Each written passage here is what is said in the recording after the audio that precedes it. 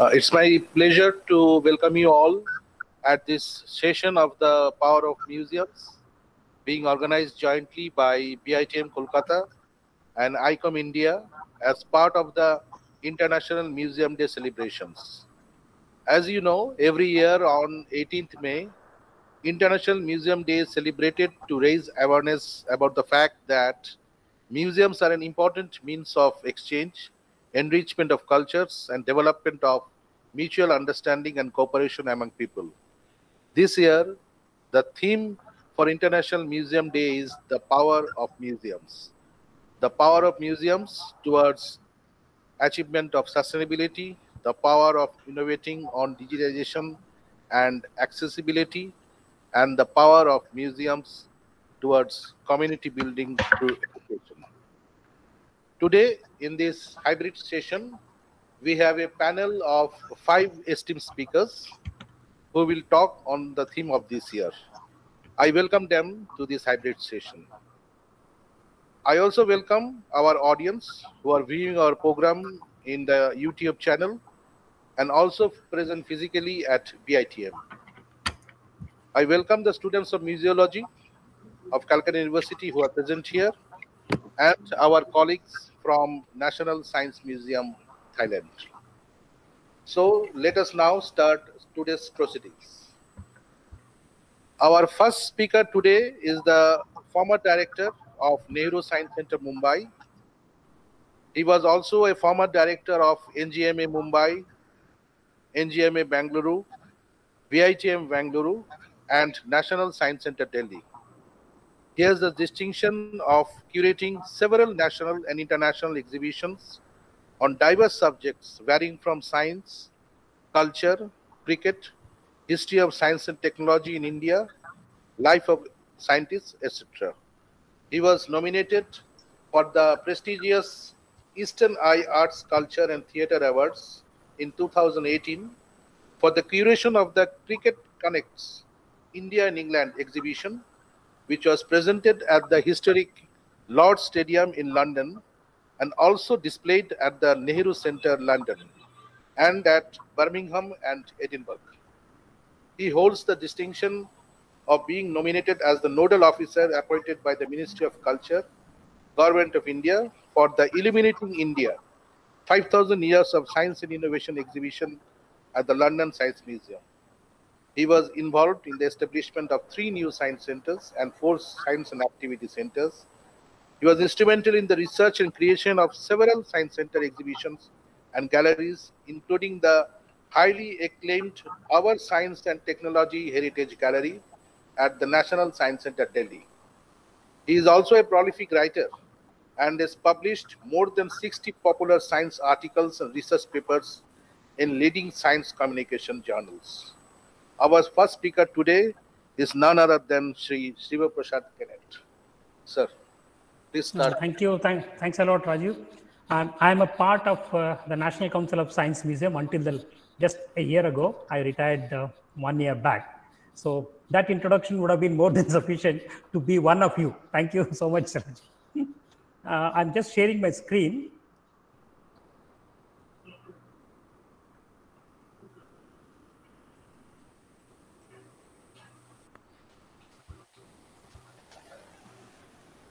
I hope you can see the screen. Yes. Uh, Yeah. no, Um, it's not coming. It's not coming. uh, not yet visible, sir. Array, it's Does not visible? come, sir. Oh my God. I'm showing it is. Uh, uh, I thought it's again showing. Let's see.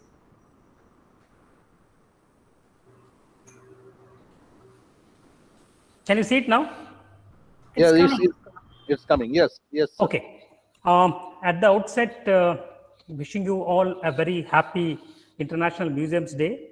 My esteemed uh, colleague speakers uh, uh, from not only from India, from abroad also. We have Dr. Ganigar Chen, Vice President of the National Science Museum, Thailand. Uh, my dear friend, uh, mm, with whom I had the honor to work in Delhi, Dr. Supriya Chandra, um, of course, Rajiv Nathji, uh, Professor Ambika Patel, I mean, the president of the ICOM uh, India, and also um, Sri uh, Tarun Thakralji, uh, the mm, founder and managing trustee of the Heritage Transport uh, Museum. Uh, thank you so much for uh, giving me this opportunity. I've been working with the Science Museum for all these years.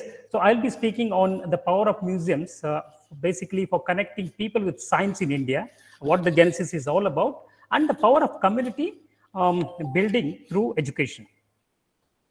Uh, you know, I think Rajiv Ji, Rajiv Nath uh, briefly talked about uh, the significance of the International Museums Day. Um, museums have the power to transform the world around us as uh, incomparable places of discovery. They teach us about our past and our, open our minds to new ideas.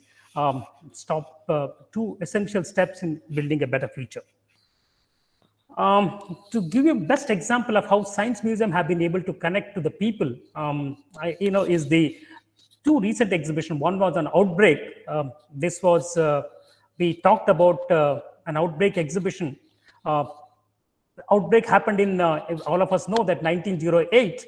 Uh, it was called as the Spanish flu, and subsequently, you know, 100 years later, in 2018, um, we organized this exhibition at the, the Nehru Science Center.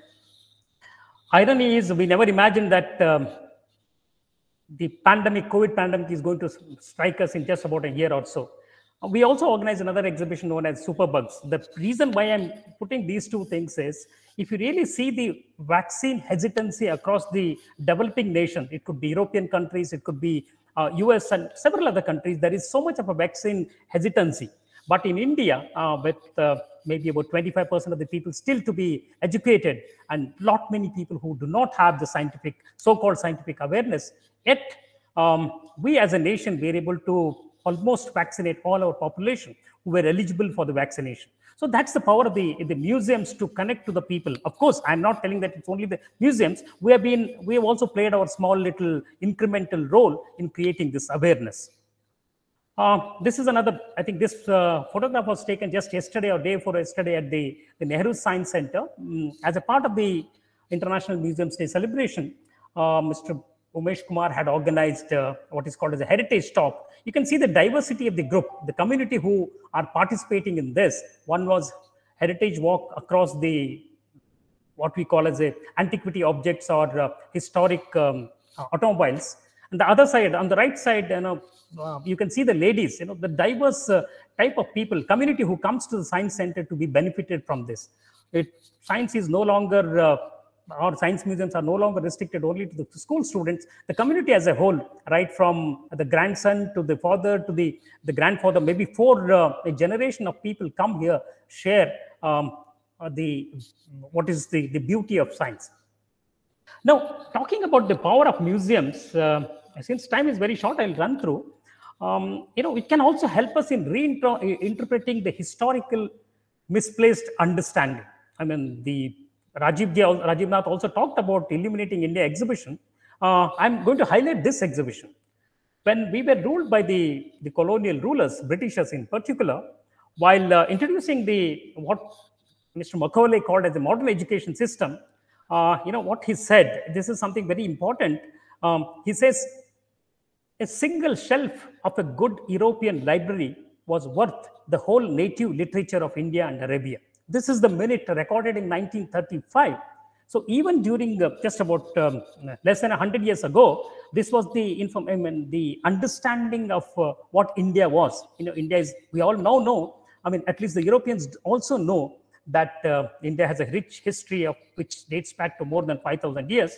In less than 100 years, uh, from the understanding of India as a nation whose uh, the, the, knowledge can be confined to one uh, European, I mean, a good European library, uh, a single person, single shelf. You, know, you can see what has happened now. 100 years later, just in 2018, less than 100 years later, uh, 2017 happened to be the 70 years of the Indian independence. As a part of the what is called as a cultural exchange program between India and England, there were several events organized. Uh, one was, of course, the Cricket Connects exhibition. The other one was this profound exhibition called as the five, uh, Illuminating India, 5,000 Years of Science and Innovation.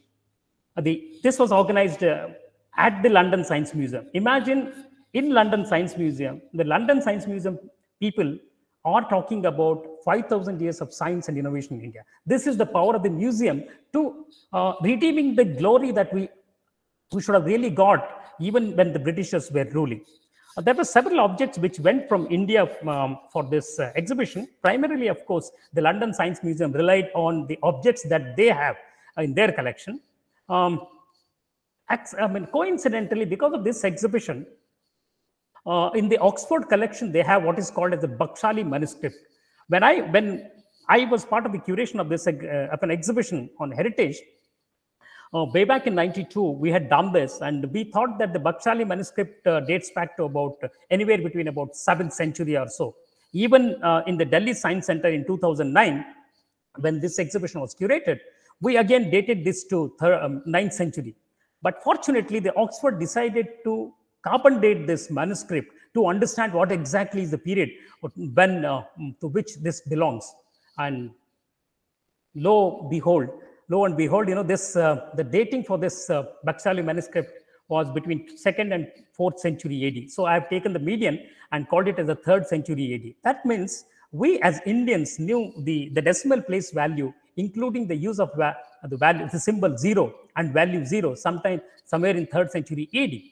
And if you contextualize this and look at what the Europeans were, particularly the Italians, um, they were not able to utilize use the I mean the um, decimal place value system. The whole of the merchants had to put pressure on the government to allow them to use this. That is the reason even today, if you really look at the Gateway of India um, or India Gate, you will find the, the year of the construction put in Roman numbers primarily because um, they were uh, the the merchants were asked were permitted to use the um, Indian decimal place value system with a rule that whenever there is an official record, you got to use the Roman numbers. So that is a history, and then this museum has the capacity to redeem the lost glory and connect the communities together, as that we are one single community cutting across the religion, language, caste, creed, barrier, countries, etc. That is the power of the museums. So I'm not going to cover this Indian contribution of uh, science and technology, which was lost in communication by the British, because all of us know. Um, I will also now talk to you that how actually the science museum started in India and globally. Uh, it all started with the necessity or the urge for the people, um, for basically the people who are producing these wonderful gadgets post the industrial revolution, there were not many things that were being uh, manufactured. Um, so this, they were all put in an exhibition called the famous Crystal Palace exhibition in 1851. Post the exhibition, uh, they thought that where do, how do we, because this exhibition helped in connecting the people with the products. Later on, it was decided that once the exhibition is over, all these uh, wonderful pieces of art uh, should be stored in uh, some kind of a museum. And that is how the Kensington Museums, a series of three museums in um, London, they came up. Um, there was another uh, interesting thing happening for connecting science with community, and that was um, at the Royal uh, Society. You know, Humphrey Davy is one of the man, um, one of the scientists who used to deliver some stunning lectures to the, the people. One of the attendee for the Humphrey Davy's lecture was Michael Faraday, who was kind of an half educated. He was not even formally educated. He was just a bookbinder. And it so happened that um, he was fortunate enough to get a free pass. Um, with that free pass, he went and attended the, one of Humphrey Davy's lecture, and the rest is history. He went on to become one of the greatest of scientists, became the Royal uh, Fellow of the Royal Society. And even today, there are lectures which he Mm, very famously delivered at uh, the Royal Society, which are called as Faraday lectures. So that is the power of the the um, this the connecting to the community, and then that community can transform. The, the, the it could be museums or it could be any institutions, knowledge institutions which can transform society. And standing example is Michael Faraday listening to um, one of the speakers. Now, this is the, the Crystal Palace exhibition of 1851. Uh, it was organized um, in London from 1st May to 11th October. You can see on the right side, uh, you have this India Pavilion, a massive pavilion with full of wealth. Um, but unfortunately, it was called as more of a craft rather than art. Um, that is the reason, you know, the, the wealth of art that we have, which is uh, resplendent in all across the country in uh, the art, architecture, temple monuments, all kinds of uh, architecture, which we can say across the country, that there was a creativity all across. So it is but natural that India was kind of a living museum, um, cutting from Srinagar to uh, right below um, in Kanyakumari. Uh, what happened is I told you about uh, once the the Kensington, the Crystal Palace uh, exhibition was over, all these things were uh, put in a museum, and this museum was called as Museum of Manufactories. You know, because basically the products were coming from the factories. They called it as a Museum of Manufactories, which was subsequently later on um, changed to uh, the three museums. This is one interesting uh, um, observation of a visitor you can read this. There is, of course, some grammatical mistakes in that, but this is exactly quoted. Amazed I pass from glass to glass, delighted I survey them. Fresh wonders grows before me nose in this sublime museum. This was one of the gentlemen by name W.M. Thackeray. This is, he's quoting the account of one of the visitors, Mr. Molony of the Crystal Palace. Such is the power of the exhibitions and uh, museums are known for exhibiting of their collection curating them in a, in a right perspective. So from the Crystal Palace collection, these three museums came up. One is the Victorian, Victoria and Albert Museum, the Natural History Museum, and London Science Museum. So particularly the London Science Museum has been inspirational for uh, starting of the, uh, the museums in India. And the Crystal Palace exhibition in a way is also responsible for uh, the, the commencement of museum movement in uh, India. Similarly, after the Crystal Palace exhibition, there was another exhibition, international exhibition, industrial exhibition at Paris in 1889. Uh, the Eiffel Tower that you see here was basically a gate to this massive exhibition, which has now become an icon for the city of Paris. I'm using this exhibition primarily because this uh, exhibition was seen by one of the founders of the Deutsches Museum. Deutsches Museum connects very well to India, so that's why I've used this. Uh, in 1883, around to 1884, 4th December 1883 to 10th March 1884, we had a massive Calcutta International Exhibition. It was organized very close to the, you know, in the Indian Museum was also one of the part of this. And this was a massive exhibition. And in this just about uh, four months or so, it was visited by 1 million visitors. Incidentally, this exhibition was not su supported by the government. In spite of that, uh, um, it had about a million visitors. That is the power of the exhibitions to connect to the people. And um, in a way, museums are uh, repositories of all these wonderful objects which were uh, showcased in, all, in these such exhibitions. This is another view of the um, 1883 International Exhibition in Calcutta. This is an outside view. We talk about the science parks in uh, science museums. You can see the outside. Uh, um, um, there are all these uh, uh, generators and windmills and such other things which were displayed outside in 1884 at the Calcutta Museum exhibition. It, I suppose that uh, um, this must have been inspirational for starting of a, the hydroelectric power in, uh, in, in Mumbai, uh, very close to Mumbai. Um, there's a place called Khopoli. The 40 megawatt uh, hydroelectric power was started. I think this maybe they could have gone and seen this to see the, um, the generators and take this to benefit people. I talked to you about the Deutsches Museum. Uh, Deutsches Museum was started in 1903 and 1920. Became one of the, the biggest attraction in Europe and it, um, it was attracted by millions of visitors. So they also had this uh, wonderful demonstration. The founding fathers of Indian museums, science museums, actually visited this uh, Museum. That is the reason I've highlighted this. Similar to what we had the, the, the Royal Society lectures, in India, too, during what is called as the Renaissance time, Indian scientific Renaissance time, Indian Association for Cultivation of Science played the role of the Royal Society in India. So I will not go into these things because of the lack of time. These are the people who were actually delivering lectures from the Indian Association of Cultivation of Science to the people, connecting science to the people. Now let me come straight to the history of the um, science museums in India. Of course, the Indian Museum started uh, much before the Crystal Palace exhibition in 1814. But then most of the museums in India, you will, you will, uh, you will realize that they were also displaying the natural history products and uh, geology and such other things which have a connection with science. Unfortunately, what has happened is um, uh, maybe about 70 years and post the independence or uh, even today, uh, both science and art museums are working as uh, as separate islands. There is not much of an interaction between the two oh, science and art museums, art archaeology museums. I think this is an occasion on uh, International Museum Day, and when you know all of us have assembled here, that both art and science, which are creative in nature, museum is ex- museum exemplifies this creativity. We should work together. Um, the Victorian and Albert Museum of the Decorative Art and Industrial Arts exhibition came up in Bombay in 1855, but actually it was open to the public in 1872. In fact, this museum is celebrating 150 years um, uh, this year.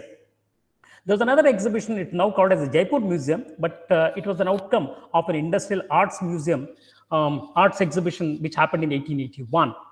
Then there's another Lord Reay Museum in Pune that also was because of the uh, exhibition that happened in Pune. Then we have the Prince of Wales Museum. Um, I'm actually working here now. Um, that came up in 1922. Subsequent to this, then comes the, the museum movement. I'm not highlighting about other museums. Kindly excuse me for that since uh, I'm going to be speaking on Science Museum. I will talk about uh, the NPL uh, Science Museum in, in the NPL campus, then the Birla Museum, um, Pilani, BITM, of course, our mother museum, Vishweshwaraya Museum, Nehru Science Center, Mumbai, and the NCSM. Of course, I talked to you about Indian Museum. I will not highlight on that. Uh, uh, similarly, the there are two other museums. One is the, the uh, Bhau Daji Lad Museum in uh, Bombay, and uh, the other one is Mahatma Phule Museum. Now let's come to this one, the BITS Museum Pilani. Uh, again, the Birlas are actually visited uh, uh, the London Science Museum and they wanted to have the similar kind of a thing. That is how this museum started in 1954. Uh, so this you can say is the first uh, science museum in India. I will not, uh, because there is no time, I will not speak much about Pilani Museum. Uh, I have used this Dhanraj Bhagat because Pilani Museum, in a way, was helpful in developing wonderful artists who were able to, who could make dioramas. Because Pilani Museum people had purchased ready-made dioramas from London and brought it to Pilani. Unfortunately, during the shipment, the dioramas were broken. When they asked them to repair, they charged them a bomb.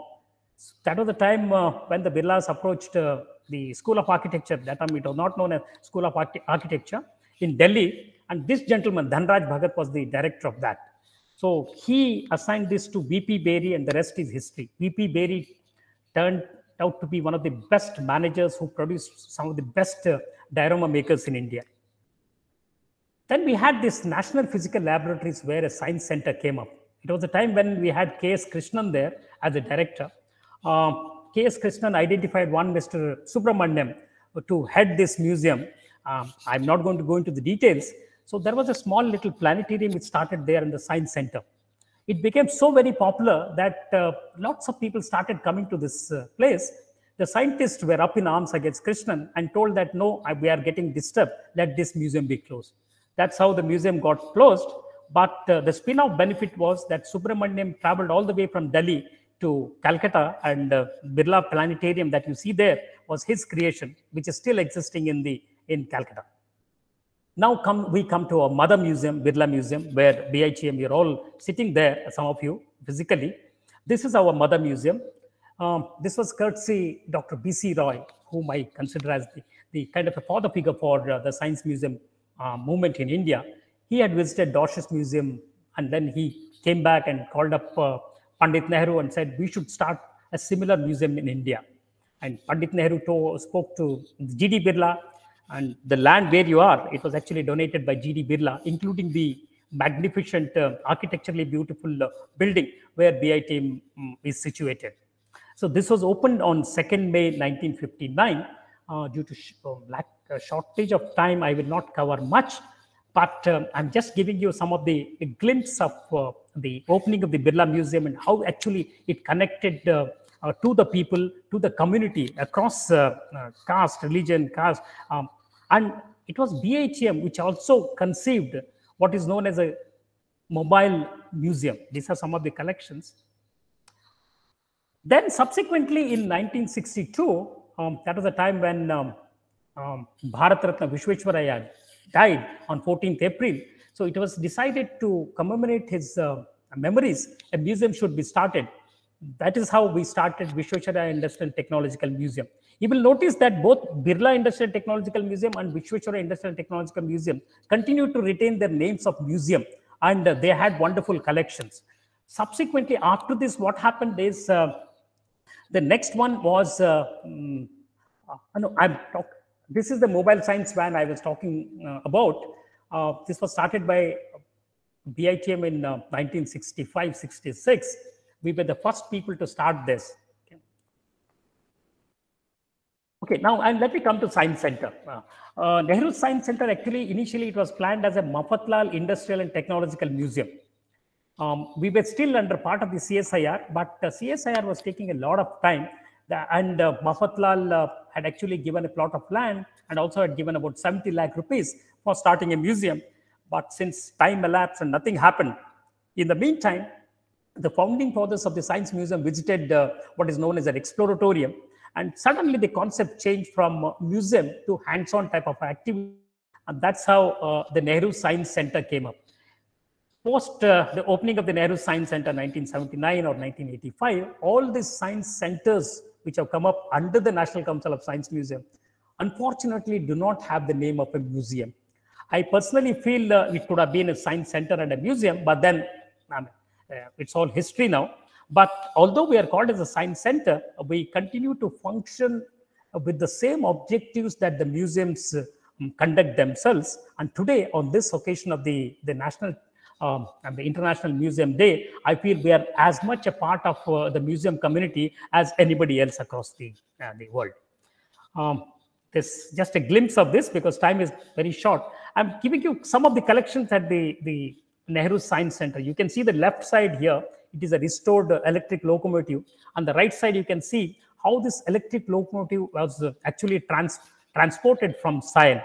Uh, in fact, this is the first engine which uh, was actually driving the Deccan Queen Express and it was taking just about 2 hours 45 minutes. Even today, um, in 2022, um, Bombay to Pune, the journey is about, by the Deccan Queen is about 3 hours 15 minutes. That means this train, what you see, which is in our collection, um, uh, was traveling much faster, and that that too in the year 1925 to uh, uh post 1925. So I think uh, uh, time is very short. Rajib, should I do I have some more time, or should I end? Hello. Sir, you, hello, huh. sir. I hmm. think you can take another three four minutes three four minutes okay this is another collection that uh, we have um, the reason i'm showing showing the collections is um, although we are called as the Nehru Science Center, we have some of the stunning collection. This is a, a um, it's called as a steam lorry, or um, it's also called as a steam wagon. Uh, it's the four-ton um, mm, lorry which was run by uh, steam engine.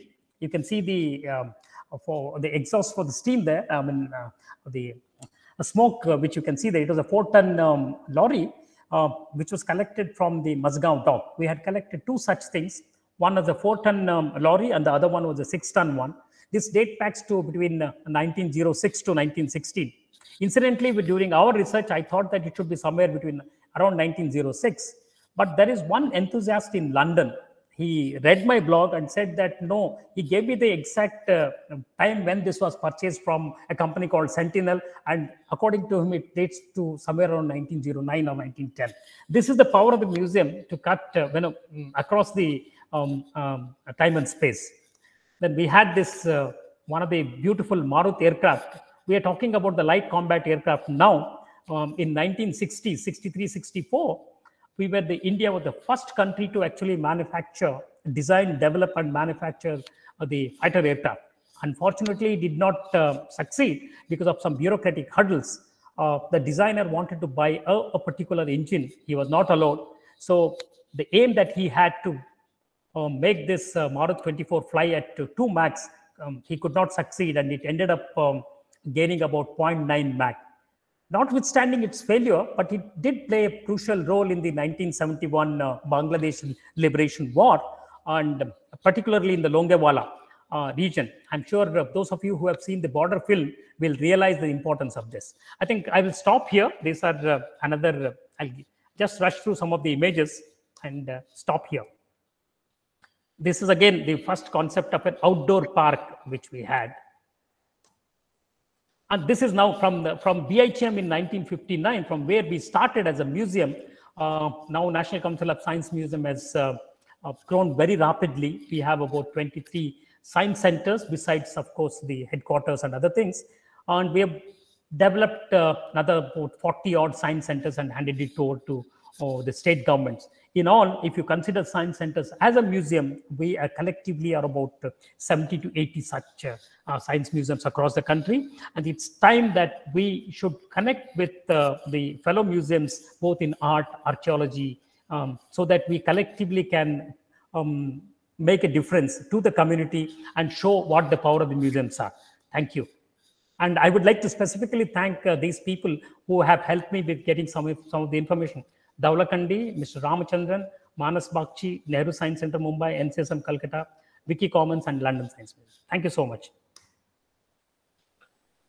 Thank you, sir, for that wonderful talk. It's always nice to hear from you. And today also we were enlightened by your talk. Uh, you showed the power of community building of museums across age and cultures and the reinterpretation of the historical misplaced understanding in the Illuminating India exhibition and the 5,000 years of science and innovation exhibition. And then you took us through a ride through the Crystal Palace exhibition, the Humphrey Davy lectures, the Museum of Manufactures, the Calcutta International Exhibition, and then to the science centers and science museums of India. I hope, uh, I think that later on we will have some questions for you from the museology students who are present here. But still then, sir, it's thank you once again from BITM. Our next speaker today is Dr. Ganigar Chen. Dr. Chen is the Vice President of uh, National Science Museum, Thailand. And uh, Dr. Chen has been working with the National Science Museum, Thailand since 2000. She started as a science educator and international research advisor, and she has been involved in developing museum education programs, public programs, science media, and science communication training. She has developed the operation strategy for NSM outreach unit called Science Caravan, which in each year reaches out to population in more than 10 provinces around Thailand. As Vice President Museum Operation, she also supervises a number of new exhibition development projects, development of population science, popular science media, science television programs, and science online media.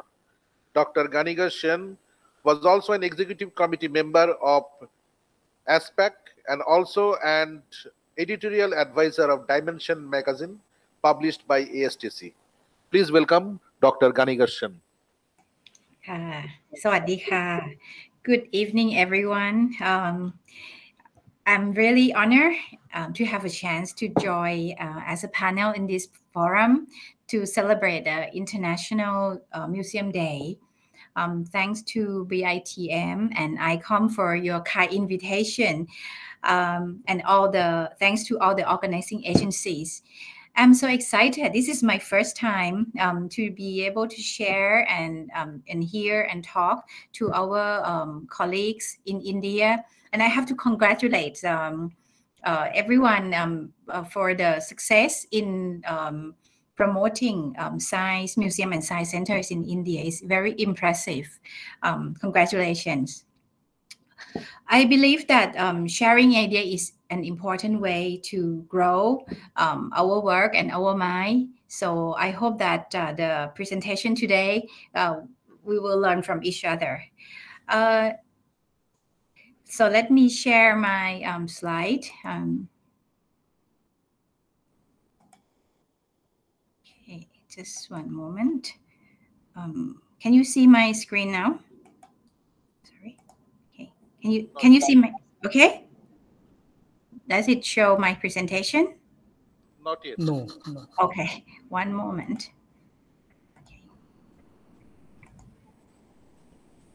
Okay. Okay.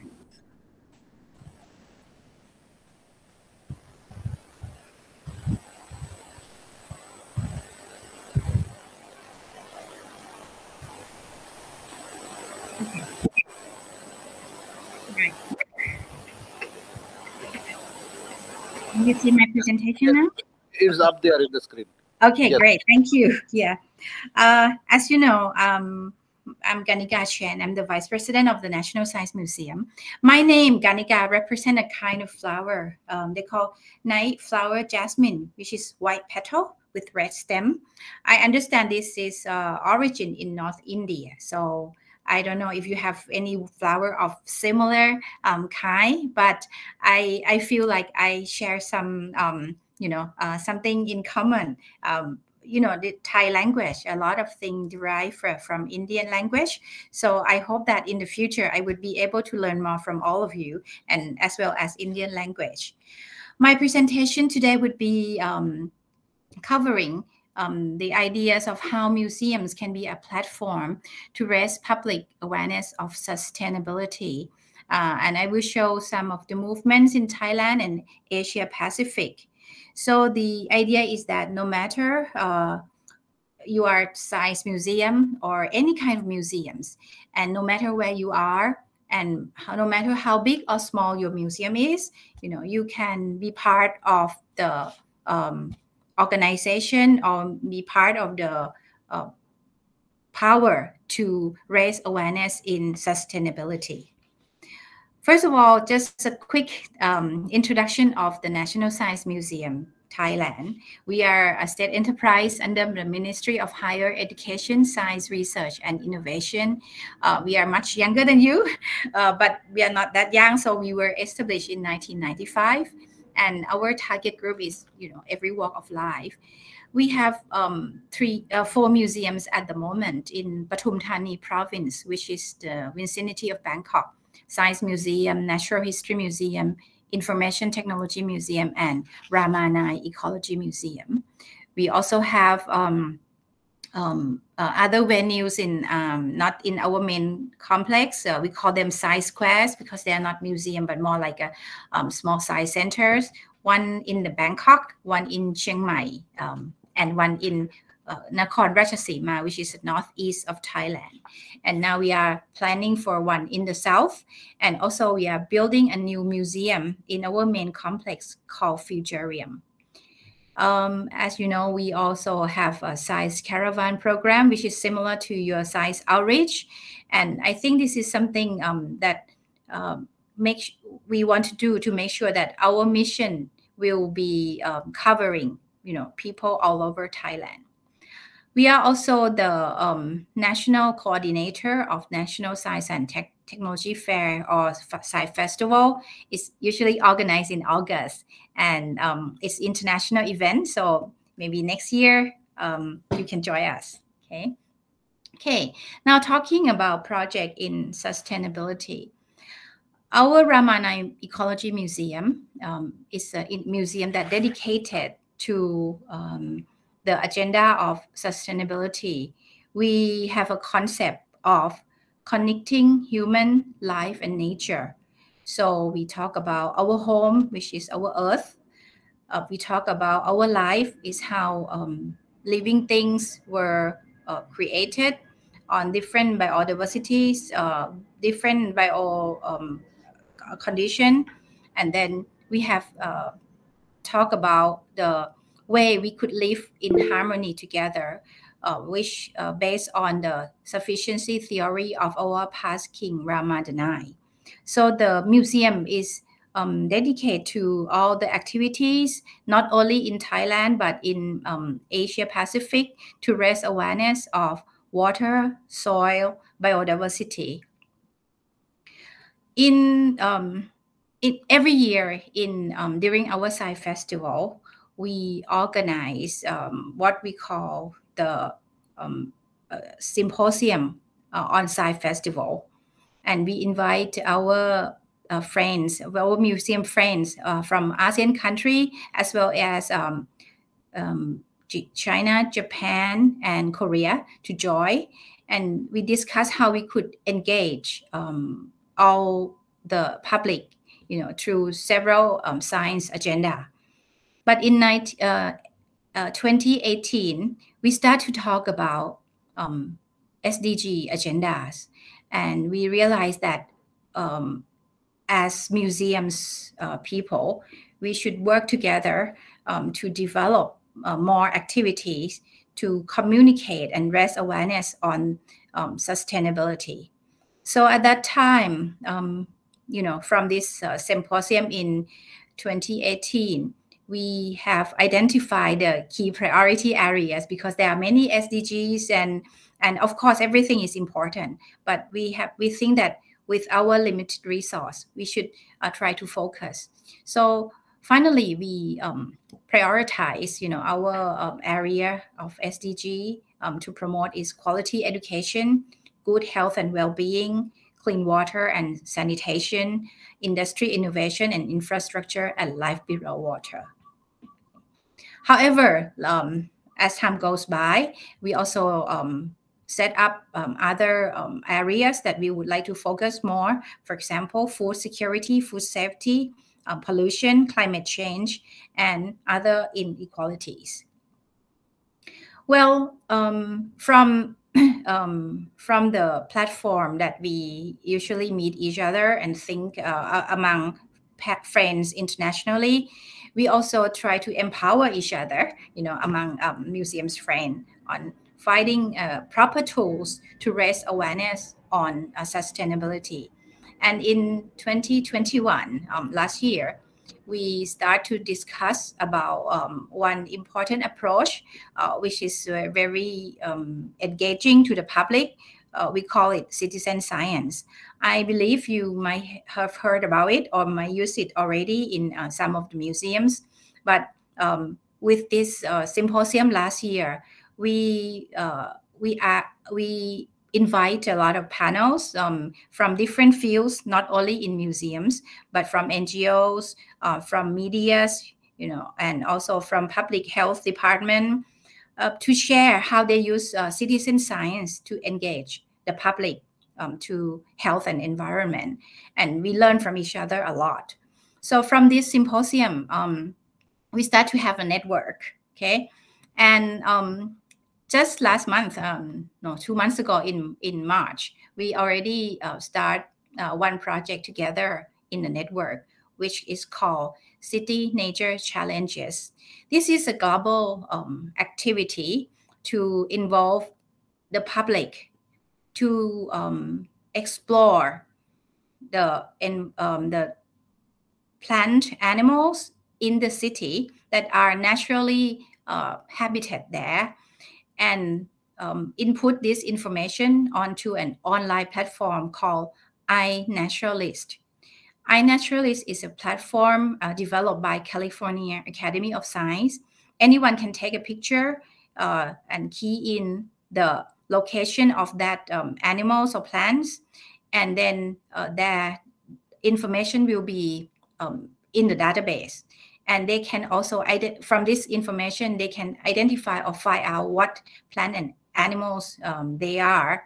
And also this database become a big data that you can analyze and find out later uh, what happens uh, in terms of uh, distribution of plant and animals in the city this uh, activity has been organized um, countrywide uh, in many um, cities in Thailand with partnership uh, with many people. So I think um, this is a good project to to engage, you know, the citizen, no matter their size or non-size or um, children or um, elderly, they can also involve in this. Okay. So this is um, uh, that's one of the example of how museum can partner to raise awareness in um, sustainability. This is another project uh, that we involve the public in um, in environmental education. Uh, we have a photo uh, contest uh, um, organized through our website um, quarterly. It's called Science is Out There. So the public or, or anyone um, can take a picture uh, based on the theme we, we designate that and they post that photo with short um, caption on what is the science behind it okay?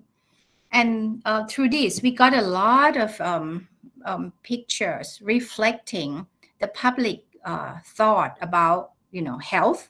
Uh, the first one is about social distancing. Okay, the second one is about biodiversity um, and the um, garbage in the city. Okay, so I say um, garbage affecting um, life in the wild. And the third one is um, the picture of people who are working um, at risk on garbage collection. So um, I think this um, simple way to engage the public and let them be part of the um, people who help raising awareness to others uh, on the sustainability issues is very um, important and powerful in terms of communicating um, these uh, agendas.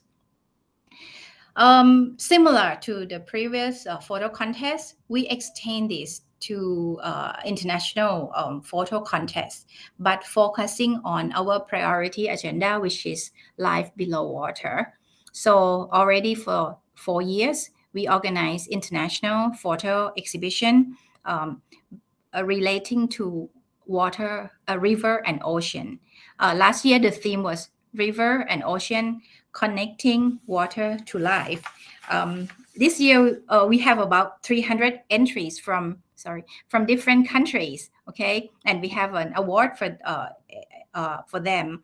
We involve National Geographic, we involve IUCN, which is the environmental NGOs, and many others uh, to be the judge. So I think um, this is another uh, example of project that we might be able to work together with uh, Indian um, network as well. Okay.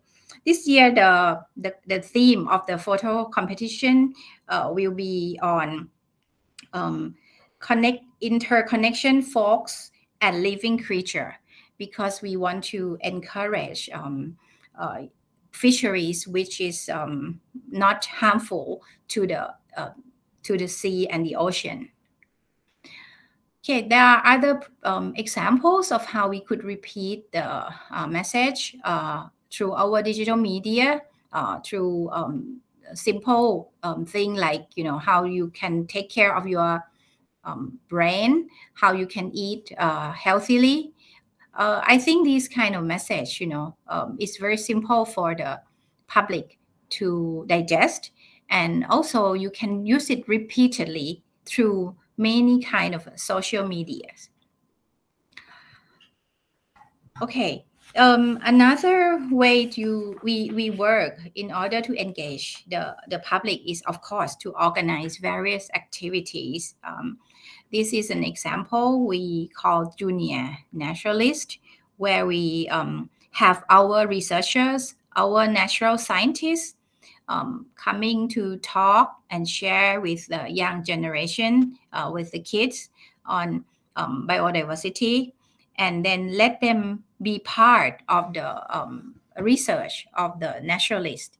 But but then during that time, we also give them an awareness of how we could um, treat these creatures nicely and we study them and we let them go to the wild so that the students can appreciate nature but at the same time know how to preserve nature uh, we also try to organize several student projects simple projects not very um, um, advanced but let the students explore um, nature and explain or communicate what they found in nature. Uh, we find that the school like it very much because not many school um, uh, or not many teachers can um, organize this science project that is very advanced uh, with tools and then experiment. But this sort of um, project uh, allow the students to explore, to observe, and um, to get their own um, reflection on what they find about uh, nature. And this is a very good way to um, make them more um, appreciate nature. Okay. Um, other than that, we try to engage, um, let's say, youth, okay, to be the creator of science content, particularly the global agendas um, so we have a program called Short Science Film Award, uh, which we work in partnership with um, uh, Thai Public Broadcasting and many famous directors in Thailand. So the students uh, attend the program. They were trained how to make um, short size film, and then uh, they make films, and um, the films will communicate to people of that age, okay, uh, uh, the youth um, themselves, on how we could we should be aware or protect the um, the um, environment or make sure we are uh, be part of the people who take care of um, sustainability. This is another program. Um, we believe that um, to communicate um, sustainability or even communicate science, we cannot do alone. And NSM is not a very big um, organization. So we try to um, cultivate more science communicators, especially young people, um, to convince and, and, and to, to um, train them to be uh, young science communicators. However, the mostly we will um, focus um, uh, and let them focus on the agenda of the um, sustainability, for example, health, climate change, food, Okay, for example, this year it's about better health. So uh, every year we have about 40 to 50 young science communicators um, training and helping to communicate to, to others. Um, of course, at NSM, uh, every year at our science festival, we will develop a new exhibition um, uh, on food security, on energy, or uh, on other uh, important agendas, uh, global crisis. And then um, these exhibition will later on be used as a traveling exhibition to other science centers in the country. But more importantly, um, in the latest, in the uh, in last year, uh, our science festival is organized in a way that we try to reduce the um, the, the the trash and um, let's say we, we try to make sure that uh, everything is green and no no much um, things is thrown away so we call this science festival bcg in action so all the kids you know they have to bring their own um, uh, cloth bag we will reduce the use of uh, plastic bags and even paper bags in the fair. We will reduce uh, all the boxes and everything. So I think it's also important that if we are going to talk about sustainability, museum uh, also have to try very hard, you know, to lead and to show that uh, we could do something, you know, to make sure that uh, we are friendly to the environment. Of course, we cannot do 100% what we do try. Okay. Well, um, as you know, I'm um, the executive me- uh, member of ASPAC. We uh, have many um, ASPAC projects which um, focusing on um, youth engagement. And uh, in the recent year, we focus on um, sustainability as well. For example, we have a science drama competition, which is an international one, and the theme would be uh, our sea and our and oceans for the future. Um, this year it was hosted by um, my museum in the Philippines.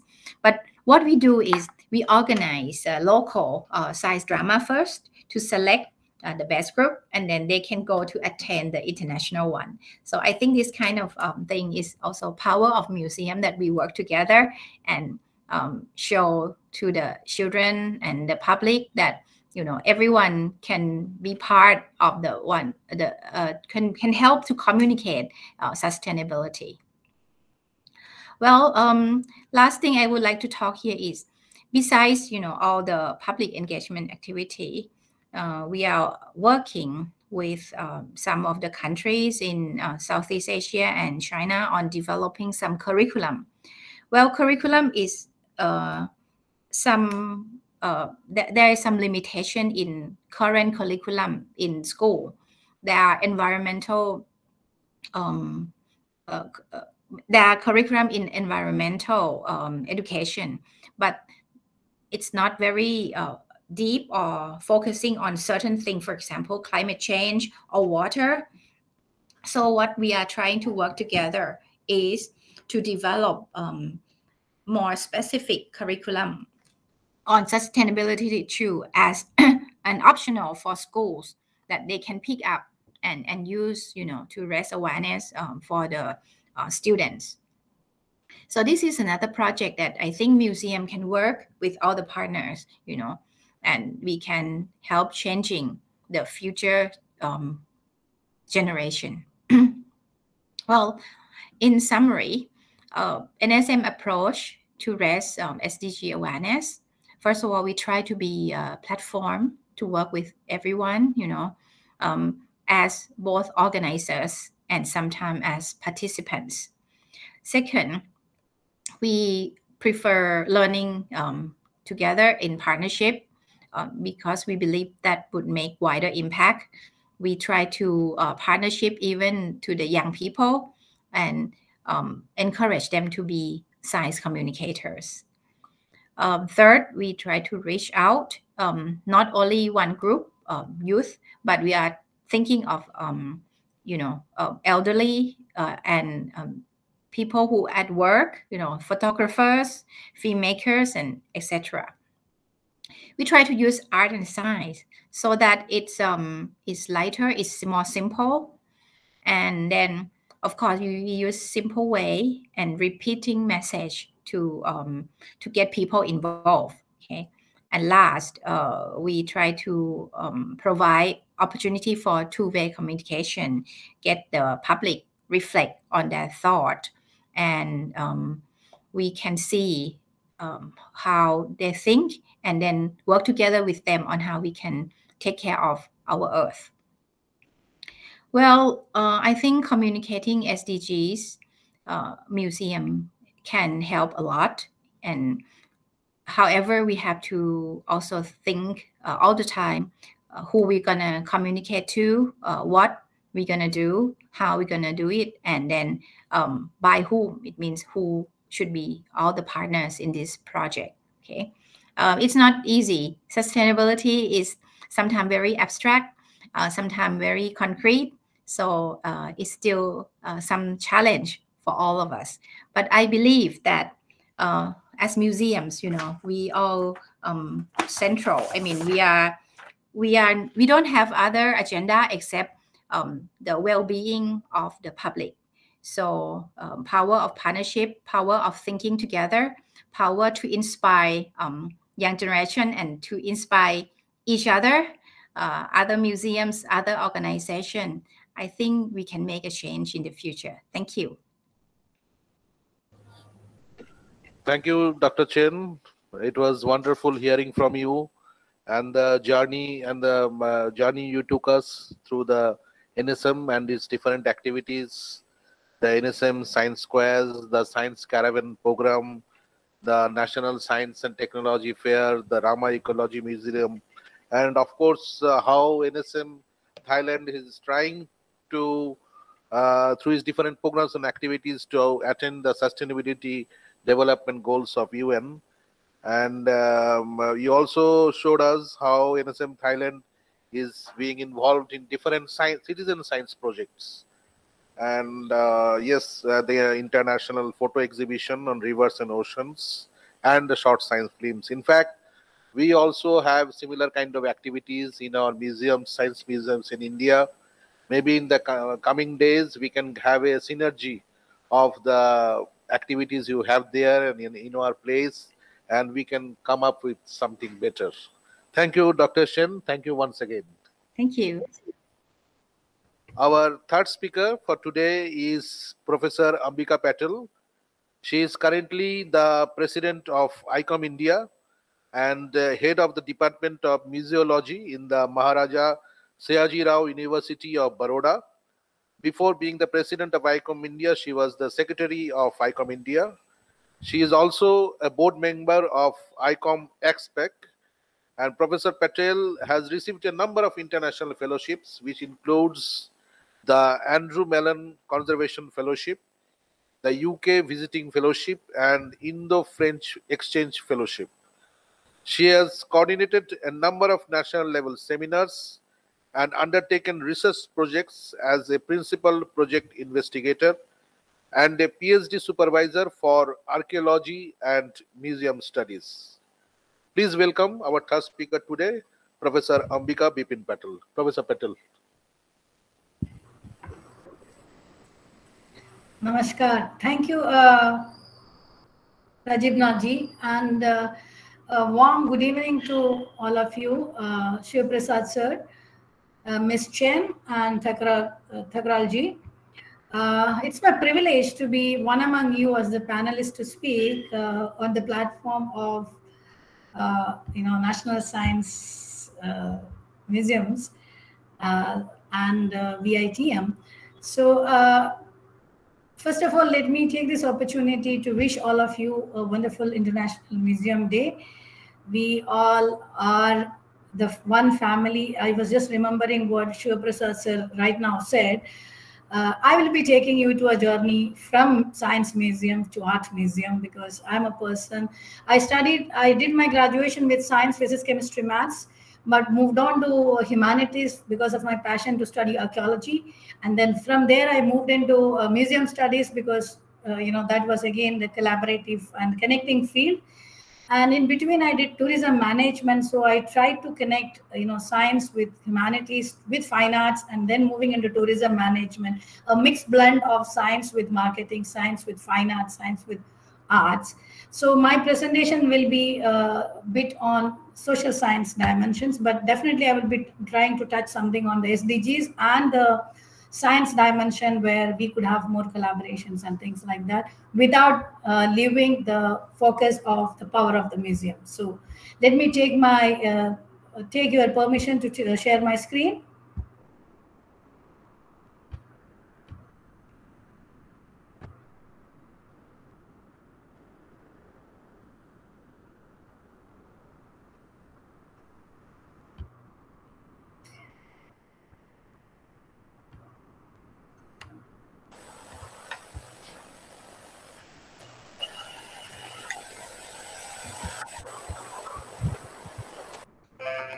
In a remote place traveling, uh, and then in between, I am uh, having a hall to do this event since morning. Uh, so bear me uh, if if at all some network issues comes in between. I hope it should not happen in between. Uh, is the screen visible? Yes, okay. please. Okay, thank you. So we all are uh, here today gathering to talk on the, you know, the power of the museum through the IMD 2022. Uh, we all know as museum professional, whether we are in science museum or in art museum or in, uh, you know, tribal museum or whatever kind of museum we are into, we are all having collection. We are all dealing with uh, communicating with the society. We are all trying to do our sector, the museum sector, a powerful engine to communicate with society, to benefit the society. So, uh, not taking much of time, the few beginning slides was just, you know, putting that into the context. The museum as an empowering institution, and it is for the common man. You know, anybody can walk into a museum, provided there is no ticketing. If ticketing, take a ticket and get in. But yes, of course, uh, you know, one can appreciate the achievement of his or her culture and their heritage and the scientific know-how which has been evolving throughout time uh, one spends enough time one could transform depending on the time it's spent so it's a mutual win-win situation from the museum and the visitor how much time we spend and what is the attitude we are getting in and then how much facilitation the museum is doing from its side so all of us know museum uh, is a catalyst for change as for the present of the need of the present day we could look at this as an engine uh, for taking the society further, whether, as Ms. Uh, Chen said, whether it is, and you know, on the about the rivers or the environmental education or maybe the climate change, or it is a community development for craft and sustainability, or then supporting them for their sustainability through the health and mental health and the physical health and other related things. So we could spread out, we could collaborate, we could join hands to do uh, make museum more powerful. We are doing in our own domains, but we could have to spread out. Of course, of late the museums are you know redefining the role because now the ICOM is redefining the definition uh, and then negotiating, and then we are uh, contesting on it uh, you know what the new definition could be acceptable to the changing environment the changing global perspective and then of course we from indian context we are now focusing more on vocal for local and Atmanirbhar because we wanted to be more self-sustainable and self-sufficient to make ourselves, you know, locally uh, more identifiable and uh, contributing to the growth of the sector, but still lifting ourselves to the global perspective. So from local to global will be our dimension. So education is one of the main dimension in it, and we are also taking the education into the experiential notions of uh, ed edutainment uh, uh, cross-reference from the panelists talking on the educational perspective and the experimental perspectives. Uh, yes, I've been uh, being a museum professional when I was I started my career as an assistant professor teaching archaeology and taking care of the archaeology museum. Moved on to museum studies in 2014 as an associate professor and then later becoming the head department of museum studies collaborating with uh, getting into ICOM and uh, putting my a lot of energy to you know do activities uh, in ICOM India chapter in, in India. Uh, all my experience looking and interacting with various museum professionals in the museum sector, uh, what I find is that we need to uh, create the product value. You know, the museum has to bring in more value as a, as a cultural heritage product, whether it is a science museum or it is an art museum. so the power of the museum could be you know felt and understood by the community the society only when we could create the product's value uh, by education or maybe inclusion or maybe branding marketing whatever uh, steps ways and means of measures we take up in our own domains uh, targeting different target groups as miss uh, chen said because you have the program for the youngsters you have the program for the you know brand ambassador as the youngster who taking care of you know branding it so what way we want to brand it and outreach, but we have ways and means of doing it. I think we all have to take it up further. Uh, coming down to, uh, I just wanted to highlight on dioramas because when we talk of community, when we look at many of the museums in India, especially the uh, social science museums, the museums from art and history and cultural heritage, and the multi-purpose museums, we uh, when we talk of community the first thing comes to my mind as a child when i was looking at the museums it was like the dioramas you know the dioramas which depicts the community. Now we have moved on a long way to the virtual screens and the digital screens and the you know and the in a way of looking at it in a different perspective. But of course the dioramas the folk stories the folk songs the performances they all play a very wonderful effective role in making connecting us with the community I would take uh, two examples in my talk today to talk about museums and its empowerment as as community is concerned.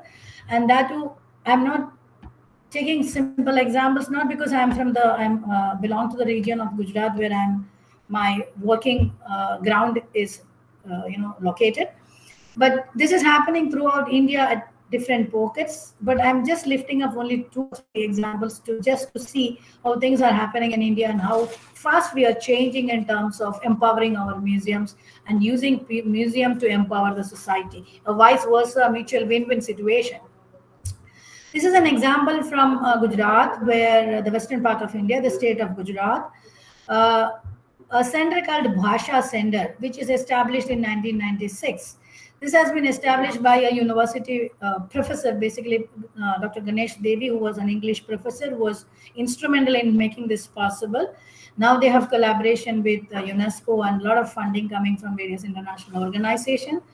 But the prime fo focus of this establishment of this museum, the Adivasi Center, Adivasi means the tribal, the tribal center, for the development of Adivasi language, protection of their language, their folk songs, their uh, traditions.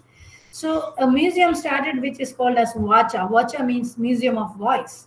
So it was for giving voice to the community, giving power to the community.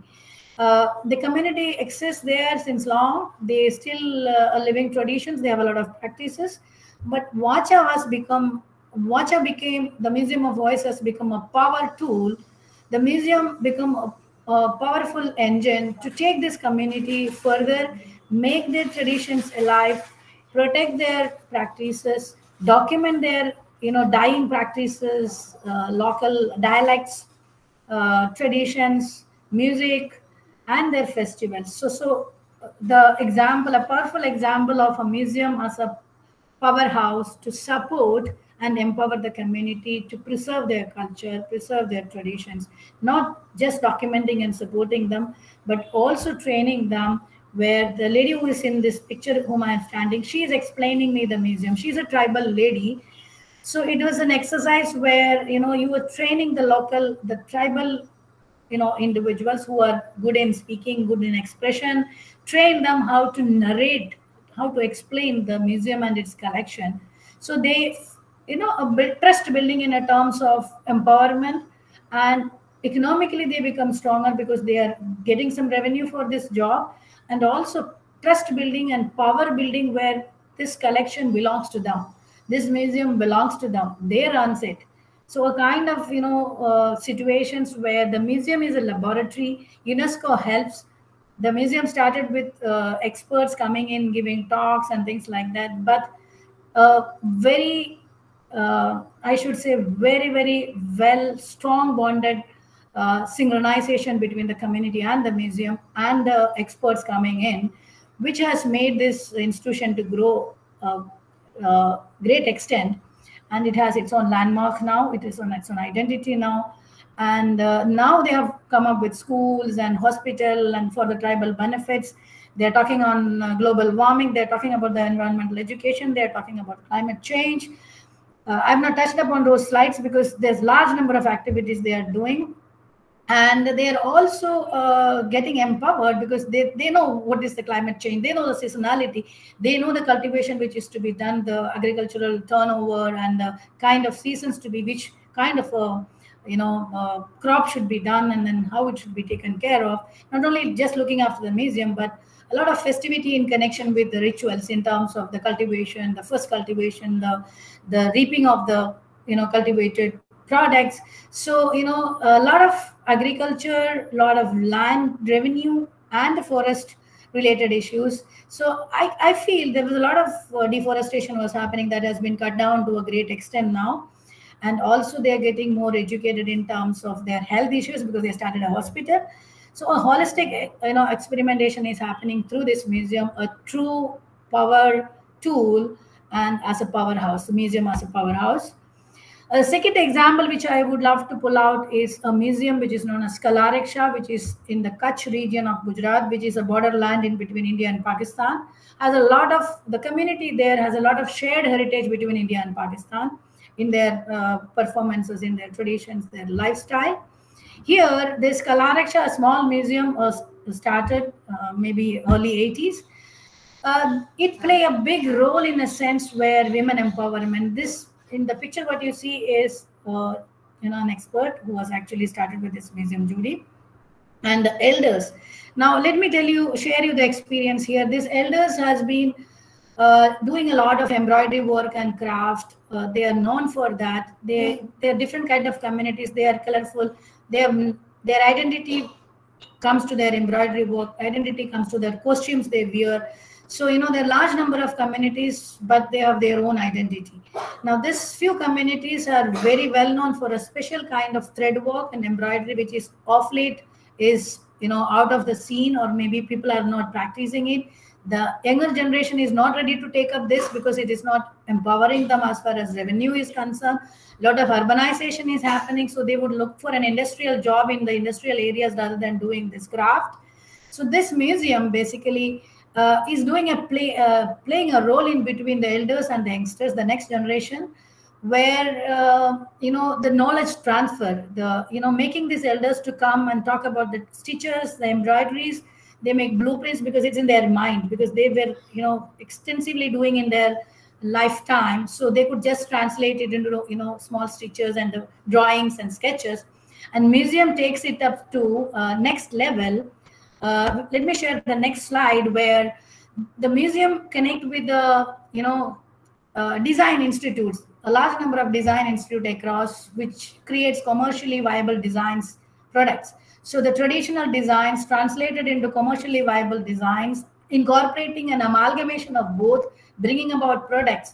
Uh, in this picture, I don't know whether it is visible to you here. This is a picture where uh, textile uh, wall hanging, but that has a board game where snake and ladder board game. So, you know, this product has been created by these people and the board game not is on a paper on a plastic or a mount but it's on a textile format. It can be used as wall hanging. It can be used as a game board. So the same tradition of a game which has been played translated into a textile format with you know patches and designs and uh, you know uh, a lot of elements getting into it and then bringing it as a commercially viable product.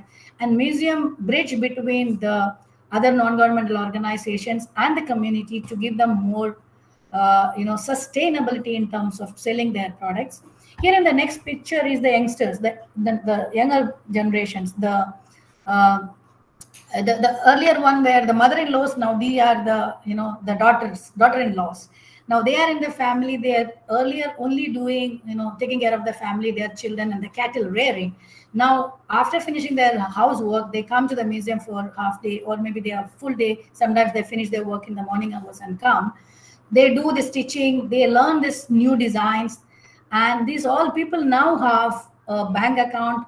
They get this, you know, their remuneration run through, you know, they all have getting have money in their hand. So empowerment, empowering women, elder generation and the younger generation museum is playing a vital role making their heritage their craft as a brand product commercially viable to the international platforms. But at the same time knowledge transfer the knowledge is not getting died it's transferred uh, originally as well as modified way both way. So i think when you talk of uh, sustainability and now, Ms. Chen, I would like to try to bring your attention here because now other organizations are communicating with them, talking about mental health and physical health and hygienic issues. You know, and these ladies are getting even that kind of information from this museum. And museum is collaborating with other organizations to bring in that dimension to their life and their ecology and their uh, you know living systems and habitats to become more and more hygienically uh, you know um, you know otherwise i feel sometimes they are some of them not all but some areas are vulnerable where need to be uh, you know treated with in terms of they are more into traditional approaches and um, superstitious beliefs and things like that. Not all but some. So there's a lot of work has to be done in that direction. So these are two things which i wanted to highlight in terms of sustainability and how museum could be a engine how the power of the museum could be reach out to the community to when we talk museums are the social entities for the you know for for the benefit of the society. So in true sense uh, we could make a difference. Uh, for a moment i will take you to another example of my own institutions where uh, institution where i'm working. We have a small museum where uh, as i said we are in the faculty of fine arts where we have neighborhoods our sculpture department the sculptors the painters the printmakers. So the museum, the Department of Museum Studies with this museum is a powerhouse to curate exhibitions, help the artists to do their uh, exhibitions, conserve their collection, maintain their collection. We deal with the storage, we deal with the marketing, we deal with museum education. So uh, I, along with my, uh, I also as the head, but I get down to the museum and do activities whenever I get time. Do we have researchers and the others doing it? So this is a session we do for the children to appreciate art. Look at art, look at you know various dimensions of sculptural art, paintings and miniature paintings and things like that. And we use a lot of storytelling to make them understand uh, you know these objects in a better way so that they could connect with their childhood. They connect art in a better perspective. Here we use a lot of uh, taxidermy specimen. We have uh, some taxidermy specimen in our collection we have some birds and animals, which is a stuffed ones. So we also talk about the taxidermy as a museum technique and also use that specimen to talk about the environment, the flora and fauna and the climate and the climatic changes and connecting with art and look at the miniature paintings, how the flora and fauna is represented on this miniature paintings of India of different schools of art.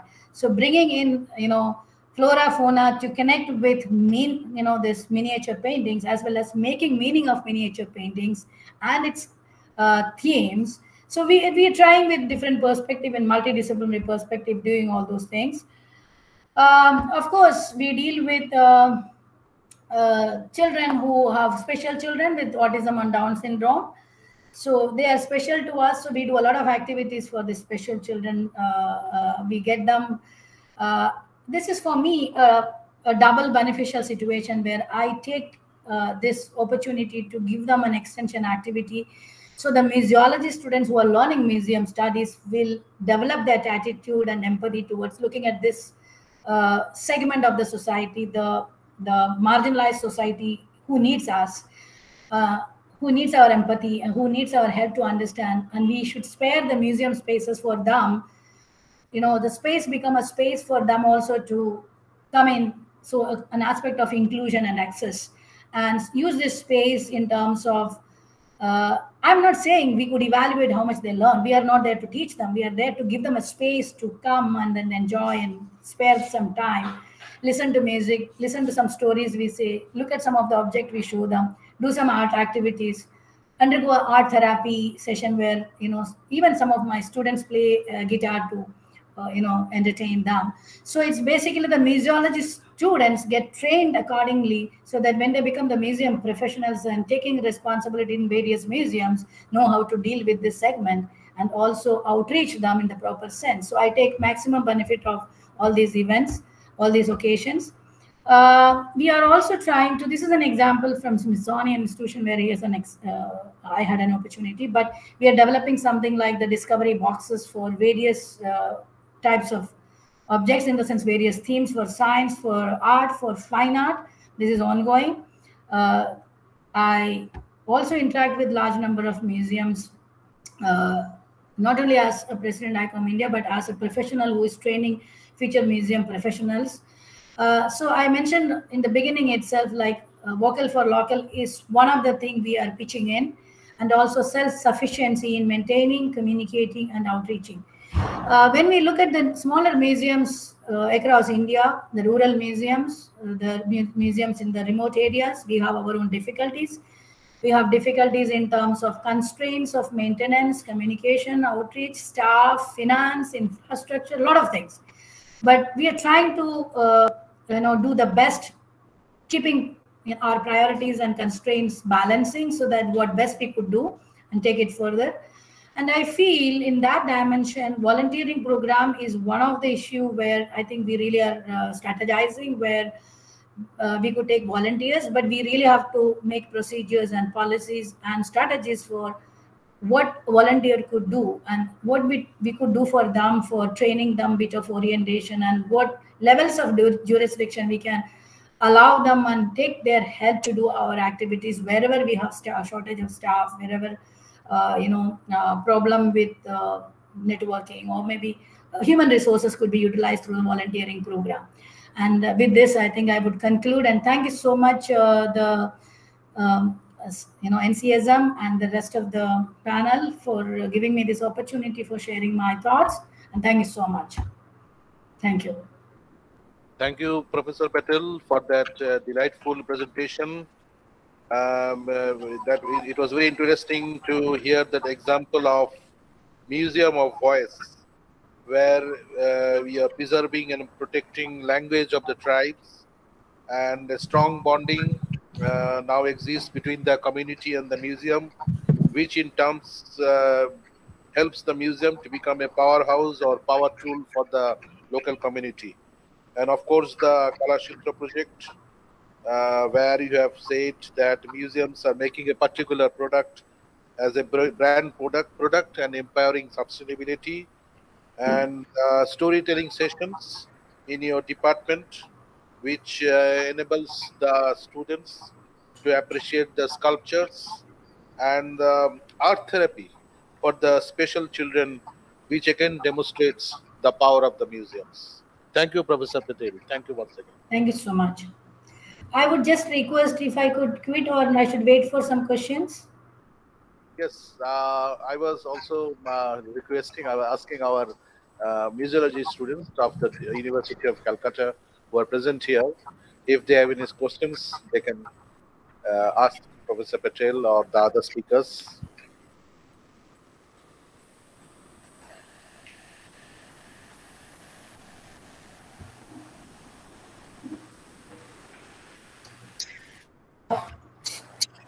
Shiv Prasad sir, Anand Thakurji, and Miss Chen. I am actually traveling in between. I'm on way and I uh, halted myself to have this and few other sessions in the day.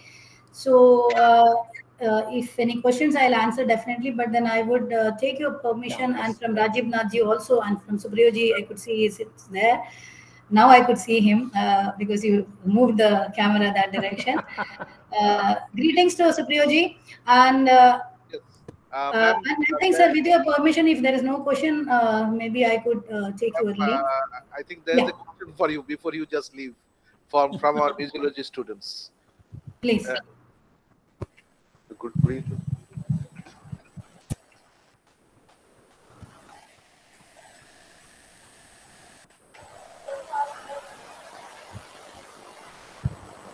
Uh, I want to ask that uh, what museum can do for the mental health uh, situation Can, can you keep the mic little, uh, little because it's getting globally. I'm sorry, I'm not getting you because there was a lot of vibration. I'm not She able to hear uh, you. she wants to know what the museums can do for the mentally um, mental health mentally differently abled Okay, okay. So uh, we are actually now trying to do something. We actually designed uh, an event for uh, mentally challenged children. We have been uh, uh, from the Department of Museum Studies. After I took over in 2019, we have been extensively dealing with some NGOs who has. Uh, one of them is the Disha Foundation, who, who actually do a lot of activity for the children from streets, the children from slums, the children from the physically and mentally challenged children.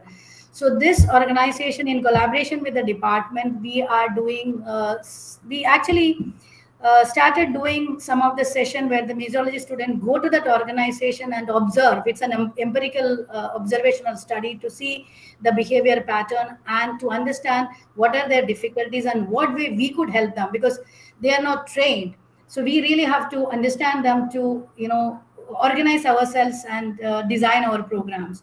So along with the NGO, um, to answer this girl, uh, along with the NGO, we have been designing some uh, mental health related programs where we have done two art therapy sessions where this art therapy was for the museology students where we have been training them how to make certain uh, you know therapy sessions and train themselves when they deal with this uh, you know children with difficulties. And we have done two sessions with them. We have not done it in the department. We went to the ngo and in their premises these children are more comfortable. So we have dealt with two sessions with them talking to them telling them story. So this was an exercise we started way back in 2019 and then in between there's a gap for covid. We did something in 18 we have done something in 19 and then now in uh, 18 somewhere in between we got some children who are you know we we become comfortable that we could help them and we could interact with them and that will be beneficial to them. So that's why we got the autistic children first. And then we also uh, you know and when okay let me tell you one thing very frankly. When we were dealing with autistic children the disha foundation uh, has given us 10 children. They said okay we are sending 10 children together but they are in different spectrum of autistic you know uh, problems. So they are you know we can't say one. We have we when they came to us when we were using the museum space uh, one of my students was playing uh, uh, guitar. One was telling story. One was handling them. We only had 10 students at one batch. And then one was doing uh, art activity. So we divided you know they into you know 10 into five group sorry five groups with two children. And then we find no we are not able to manage them. So we we have distributed individually museology student for individual student uh, this disabled child and two tutors from their organization. So they have been dealing with them so they know how to deal with them. But still we find two of them are so aggressive they did not want to stay in the museum they want to go away. So for us also we are learning from how to deal with them. But we were doing all this activity with the help of the organization and the therapist who were doing this since long for them. So uh, so when you ask me about the mental health yes definitely we are we are going to continue with this this kind of therapy sessions. But uh, let me tell you one thing very frankly as far as autism is concerned uh, down syndrome is concerned i think we need to have individual attention to individual uh, students uh, individual child who is coming to us. So we really have to design uh, programs for you know with the help of the trainers from there. So we have done few art therapy Uh, we are designing some program, but I think we will open up uh, so as soon it comes because we are now working on it. But we'll definitely coming in short time in August some program in those lines for mental health. And I would appreciate if the students from Museology of Calcutta University join us in that session online because we will do it hybrid. Uh, so definitely we will give you more inputs and more uh, you know understanding on those directions when you become a part of it. It is an experiential learning because if i speak you know we'll do this model that model. One has to be really getting into it and doing it because when i was doing it i was thinking oh i have observed so many activities abroad when i was doing different fellowships. But when i did individually i find the difficulties dealing with it. And you know every activity we were doing was a learning experience for us but at the same time we, we put it as doing and learning for the museology student for me but trying to help them whatever smaller bits we could do. Yes. And uh, we are we are also doing an uh, planning. We are actually in, in negotiation now dealing with few museums using their spaces for performances. And uh, i find one or two of these autistic children are you know and two of the partially blind students but we have a tactile uh, event few months back uh, in Ma- 11th of March, and I find they're good in performances. You know, they're so we really have to tap what exactly you know they are good, so that their mental issues could be uh, you know supportive. So I a, a huge uh, area to work in this direction, and we have put just small steps into it. Yeah. Yes. So once again, thank you, Professor Patel, and uh, just to speak, Yes. Okay. Okay, uh, thank you, Professor Patel, once again from our side. And uh, and we'll have our next speaker now. Our next speaker today is. You can go, madam. I mean, she's yeah. Thank you. Thank you, sir. Thank you so much. Thank you. Thank you. Thank you. I'll be in touch with you, all of you. Thank you so much. Thank you. Thank you. Thank you. Our uh, fourth speaker today is uh, currently the head of the Department of Museology, University of Calcutta, and the board mem- member of ICOFOM, that is the International Coun- uh, Council, International Council for Museology, I suppose. He has worked in different museums at various capacities, including heading the Maritime Museum, and thereafter he has been in the teaching profession at the University of Calcutta. He has to his credit more than 50 research papers and has been a PhD supervisor for a number of scholars. He is in the editorial board of several national and international research journals. He is a member of ICOM since 1988 and also a life member of Museum Association and the Asiatic Society. Please welcome Dr. Supreo Chanda. Uh, Dr. Chanda will be delivering his lecture in-house from BITM itself. Uh, good afternoon, ladies and gentlemen. It's always nice to be uh, back to the great institution where I started my museum career long back in 1988. Though I continued for only for five years, then uh, left the organization in 1993, but still uh, the institution of National Council of Science Museums is uh, very close to my heart. I still consider myself as consider myself as uh, you know one of the NCSM person. You know, after uh, hearing the beautiful lectures, uh, also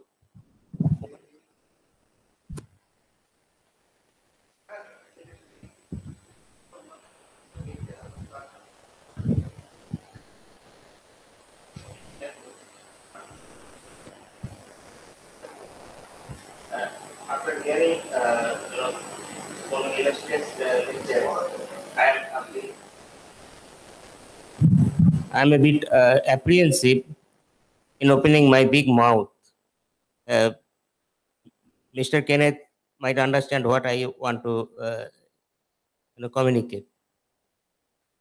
You see, every year we know the ICOM comes up with uh, lots of am- ambitious if i shouldn't uh, you know i shouldn't use the word weird topics on the imd since 1977 we have been uh, seeing the ambitious you know topics like the society, diversity, inclusion, sustainable development, future, future of museums, etc., culminating in this year, the power of museums. When I saw the, you know, the topic, I was uh, a bit surprised. To me, you know, museum power, what power?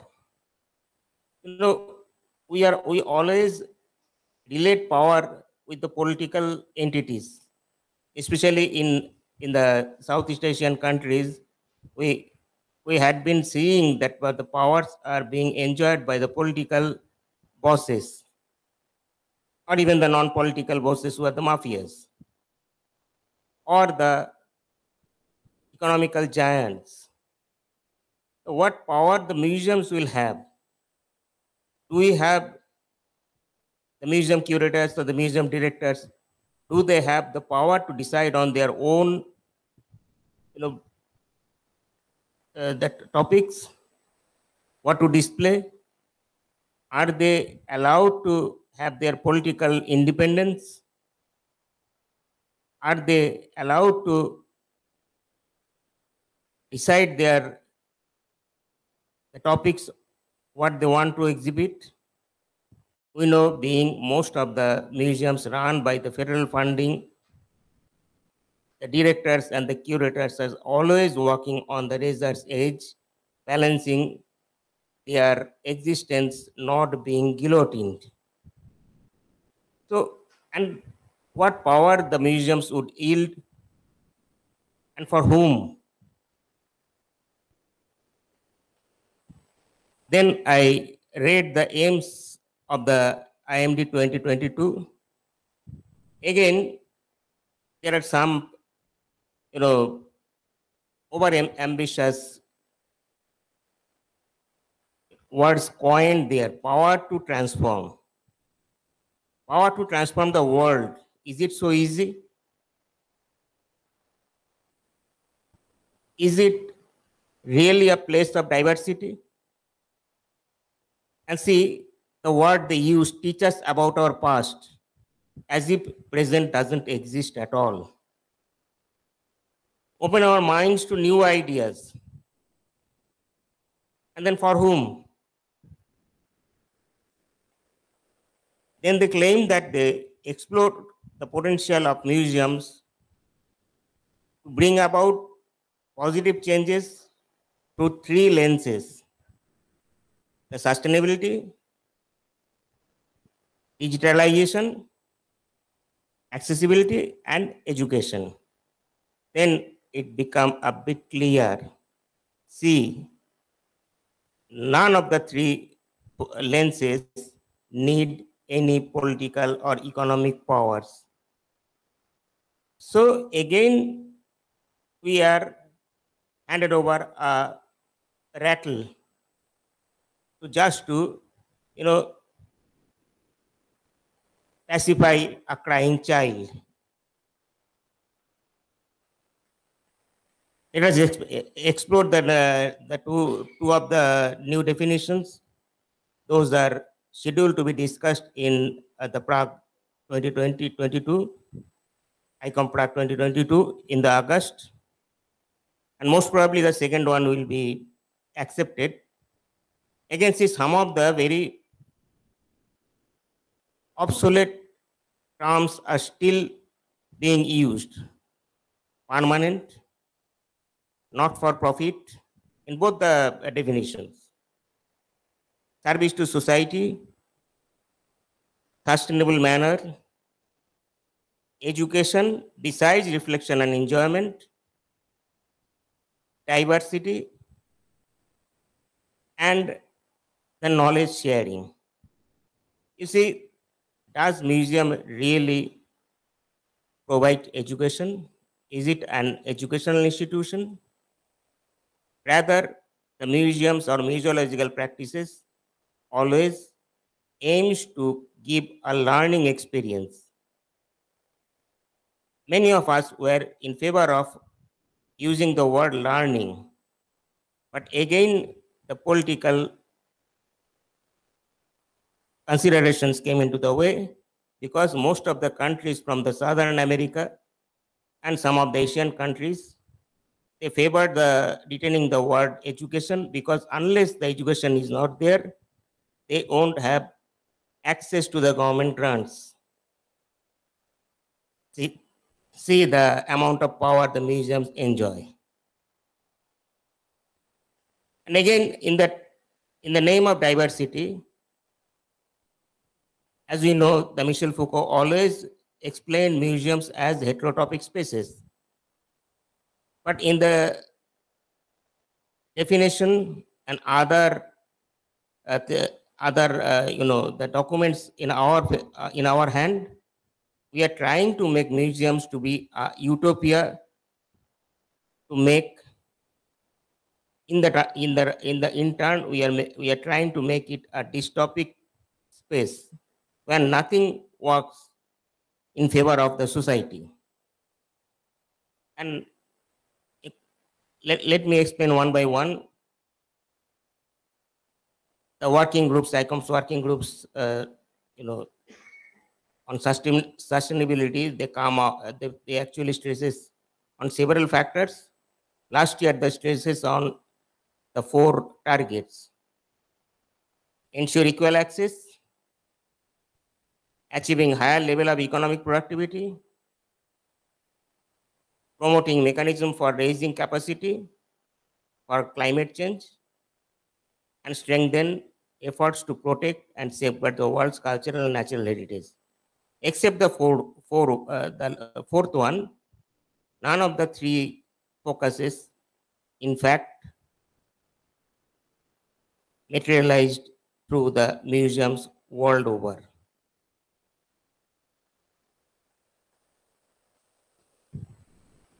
For digitalization, we all know the things, the way the communication devices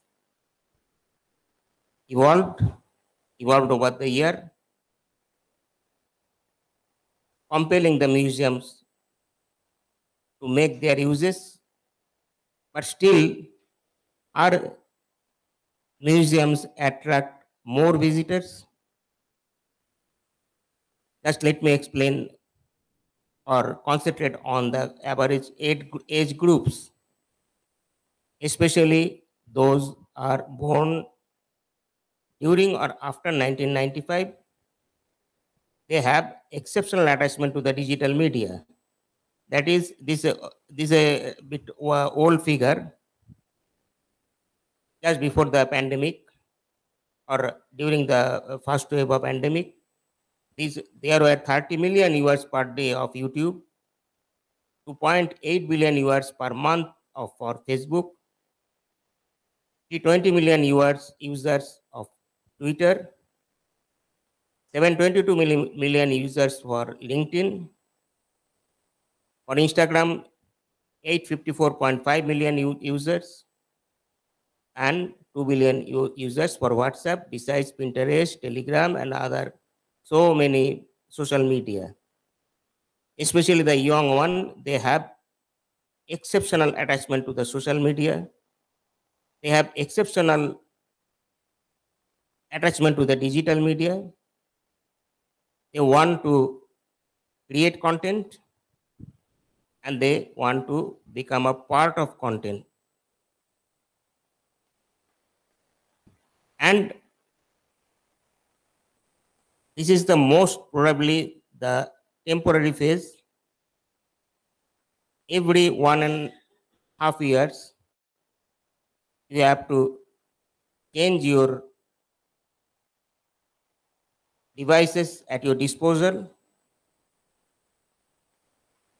The speed, as we see, daily is used in our mobile phones maximum whatever costly device you buy, you have to change it within uh, two years with more power, more processing power, more storage space. That means you have to be more mobile. Your devices needs to have more mobility. You have augmented access to the information, a quick access culminating into the my media and very soon it will surpass mass media. Then what we the, what the museum will do content creation will explode.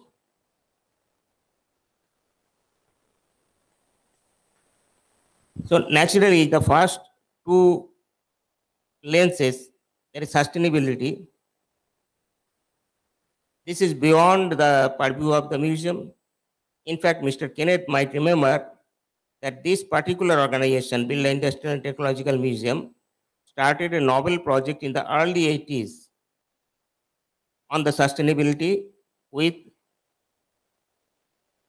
that the community called Kheria Sabars in Purulia district and the district science center Purulia facilitated the pro program.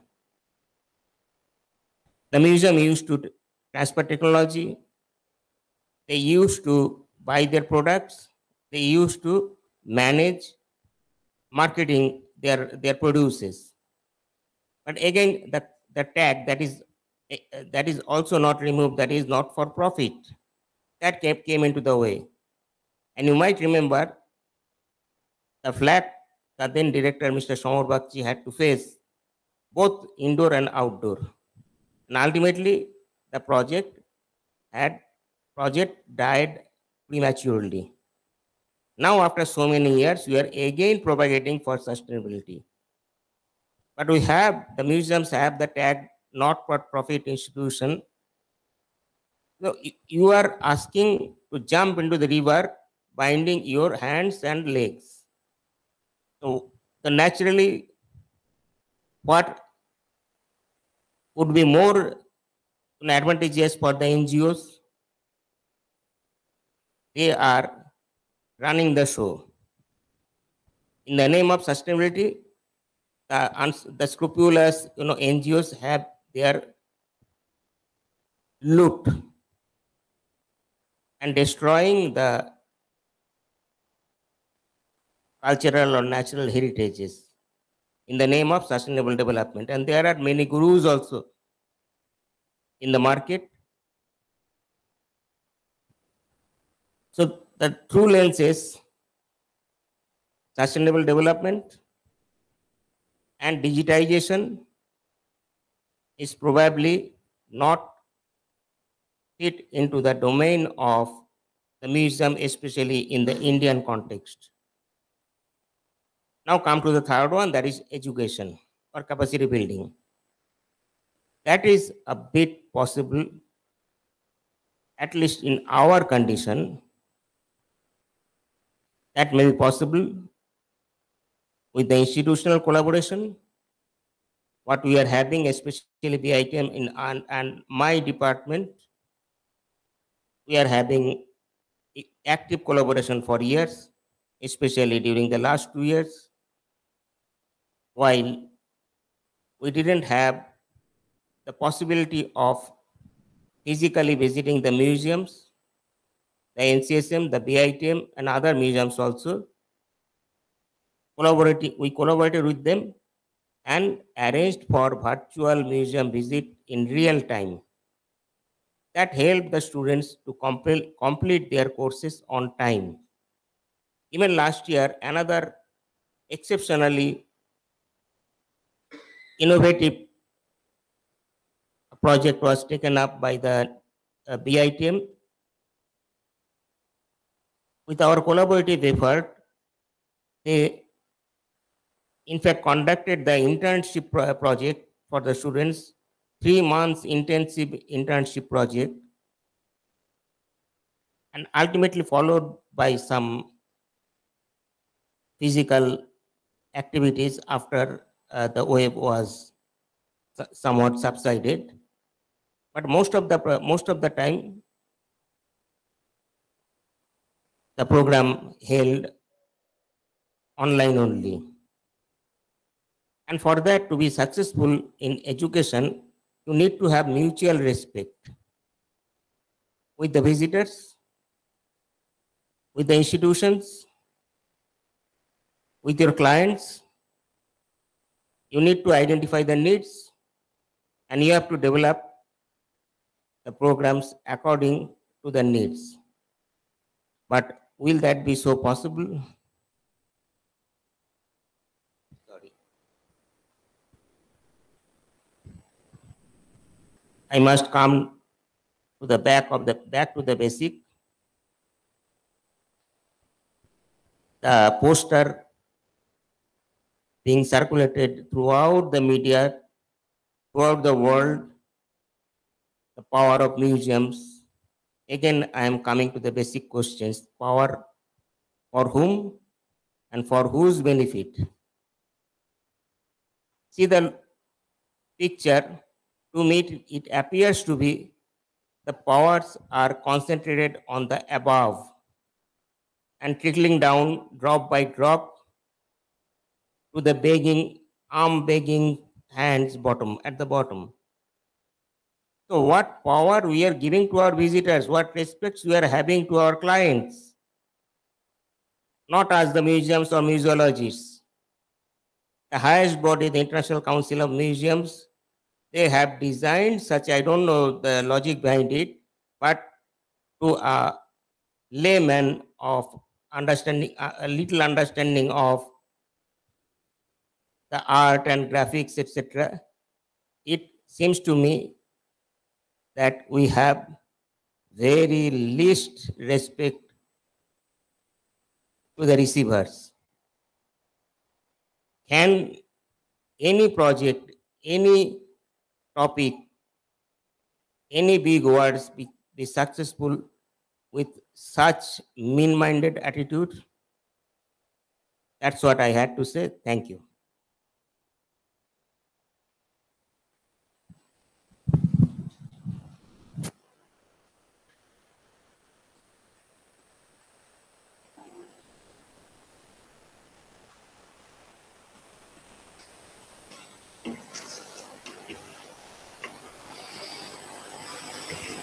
Uh, thank you, Professor Chanda.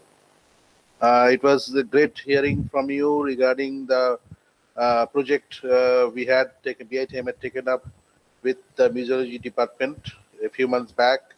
And you talked about this regarding uh, in your slide where you showed the community building through education and what the future holds for the content creation. That was also very interesting and very nice to hear from you. Thank you, Dr. Chanda, once again. Our fifth speaker today is Sri Tarun Thakralji. Sri Tarun Thakral is the founder and managing trustee of the Heritage Transport Museum.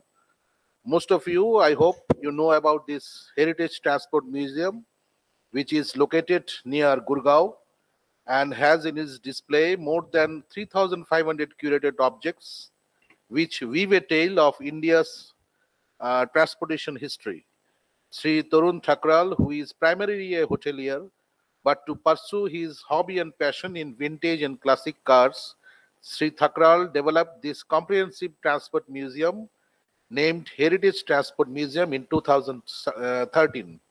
Since its opening, the museum has inspired uh, more than 1 million visitors. These visitors have comprised of school children, uh, who have come through organized school trips, university students, domestic and foreign tourist groups, architects, designers, researchers. The museum has won many national and international awards, including the prestigious National Tourism Award for being the most innovative and unique tourism project in the country. Sri Thakral today actively divides his role in the hospitality, hospitality industry as well as in the museum field. Tarun Thakralji.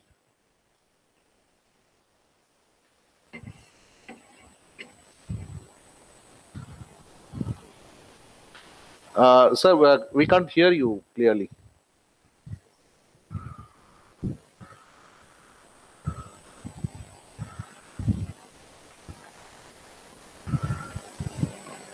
The voice is, you're not audible, sir.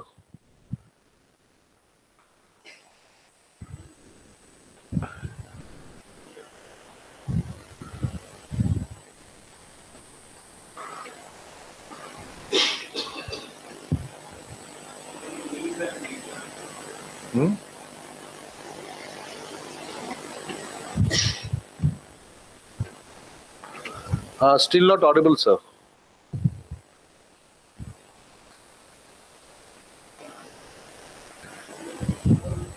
Huh? Oh, you are muted, sir. Unmute করেছেন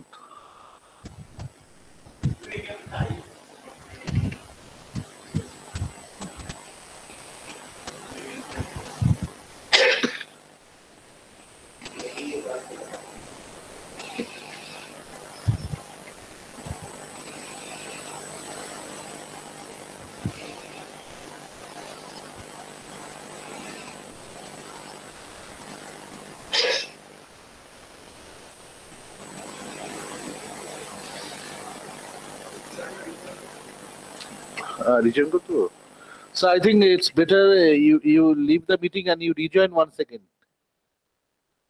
Can you just, sir, uh, leave it and rejoin one second, sir?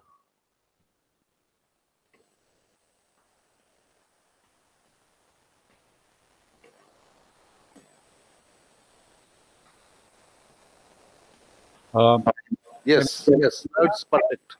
Yes. Okay. All right. Okay. Okay. Um, thank you, um, everyone. Um, and it was great listening to all the uh, the panel speakers. Um, it gave me a very different perspective of uh, how we pursue uh, our museums and our National um, Science Center, and especially the Birla Industrial and Technological Museum, is uh, you know doing such a wonderful job. Um, thank you, ICOM, also for letting me, you know, um, join this discussion. Um, I'm just going to share my screen. I hope I can do that.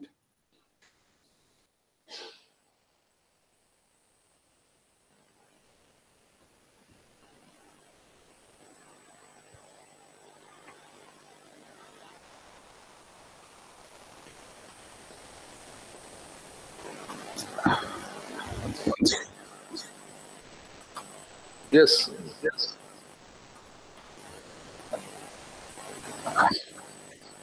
One second. I just one moment. Uh, sorry, I'm a little technologically challenged.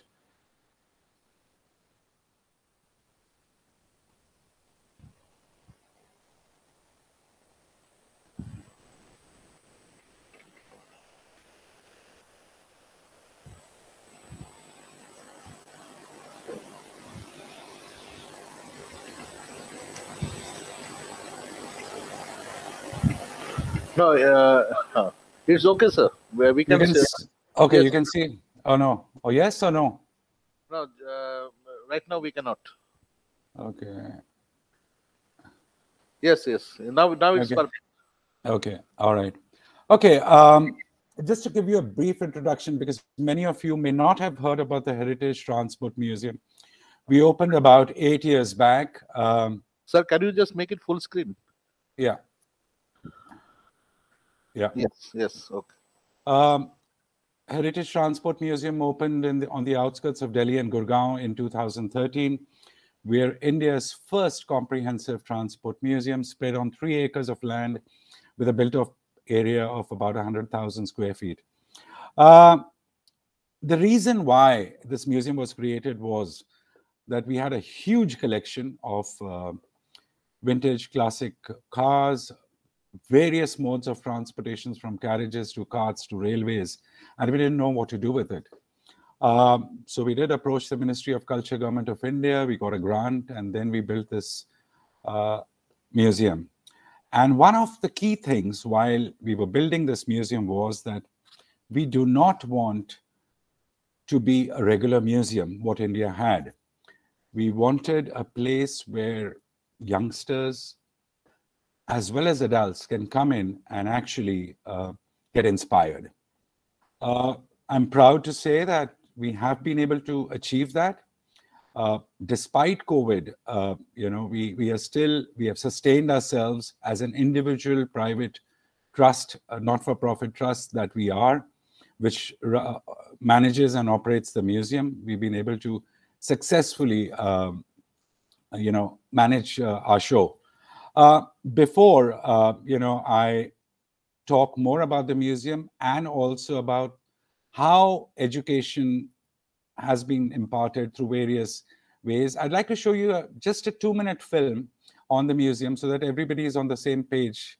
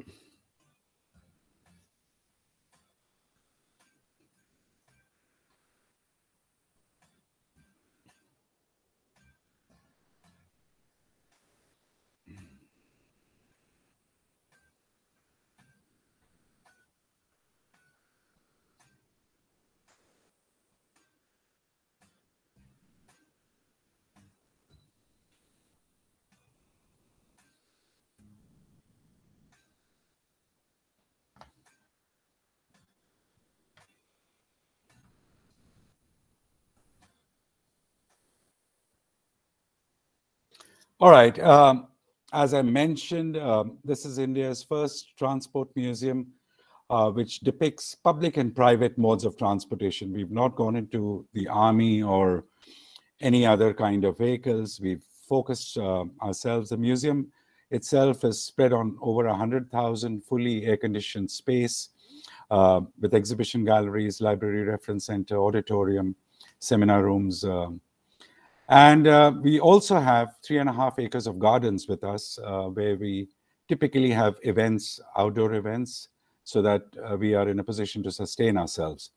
Uh, there, there, is a, there are varied programs for both tourists as well as uh, schools, uh, besides, of course, family visitors, whom, which we focus on the weekends. Um, basically, um, um it's um, everything to do with how people of India have traveled, as I mentioned, and uh, the popular exhibits of the, uh, at the museum include a toy bird cart from uh, sorry uh, from the Indus Valley civilization, the only Indian flag that has been to the moon and back. It had gone on one of the Apollo missions. Um, a Piper aircraft, um, a st working steam locomotive. Uh, we have three steam locomotives, uh, one of them which we have made it functional. Uh, we have a 1940s tram from the city of Kolkata. Uh, the only the last surviving wood-bodied tram which we had acquired about three years back and we've restored it uh, to its perfection. I'll talk about it more later in the education section. Um, what's been our success so far? Uh, I mean, number one, we we have treated the museum like a hotel, a five-star hotel, or like a uh, uh, like like a, like a project which is visitor-centric. And if the visitor goes back with a positive experience, he's going to go and tell about 20,000 other people that, you know, go to that museum. It's a beautiful place. It's a different kind of a place. And that's how our visitor count has grown year on year. Pre COVID, we virtually had about 20 to 30% increase in visitors every year. Uh, we have kept our uh, storyline very simple.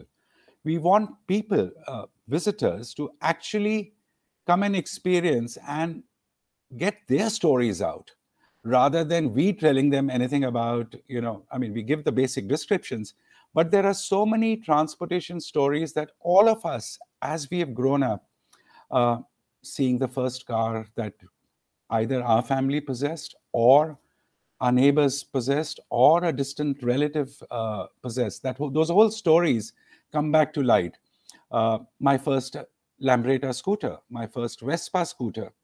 Uh, that's been the biggest and the most positive part about the, the museum. In fact, uh, there was a talk earlier on today um, in, in the panel about mixing of art, culture, and with you know technological museums. We have done that. We have had various artists that have commissioned artworks, installations at the museum, um, and what that and what that has resulted in a complete shift when you see objects when you see vintage cars for example one after the other, it breaks the monotony of seeing cars because you actually lose interest after seeing five, seven of them together. So you know, there's an art installation there. They may be pertaining to transport, but depicted depicted in a very modern way. And that's what has broken the monotony of seeing old objects all the time. And I think that's uh, I think all the museums should follow it because it just uh, number one breaks the monotony. It also allows the people to breathe fresh air i think you know in some form or the other. Plus then you also are able to attract uh, you know larger family groups. Uh, maybe the, the lady of the house is not interested in transport but when she sees art installation she may be interested in that. Maybe a, a parent may not be interested in seeing an art installation but he may be interested in seeing you know a howdah or a, or a palki. So there is something for everybody that this mu- that this museum provides. We've also followed the theatrical approach wherein every object is actually an actor. The way the museum is designed it's got multiple atriums within uh, its space and it's like an object talking to each other. For example a car talking to an aircraft or an aircraft talking to a carriage or a palanquin or a bus talking to you know a, a, a cycle. So that's what uh, when you look at it visually it's it's a very appealing kind of a place and that's one of our uh, successes also. Now coming back to education how have we you know how is the community involved how has education played a major role uh, transportation, as I mentioned, uh, it's it has its important and a very important um, aspect in how the society has changed over time. Uh, there is history in terms of the craftsmanship of these objects. There is something to learn how these objects have evolved over a period of time. Today we sit in a modern car, you know, press the automatic uh, gear, uh, gear, gear lever and just drive off. Uh, remember those days when uh, the ambassador used to get heated up when we used to go on the hills. We used to stop the cars and, you know, put uh, water in them to cool the engine um, down.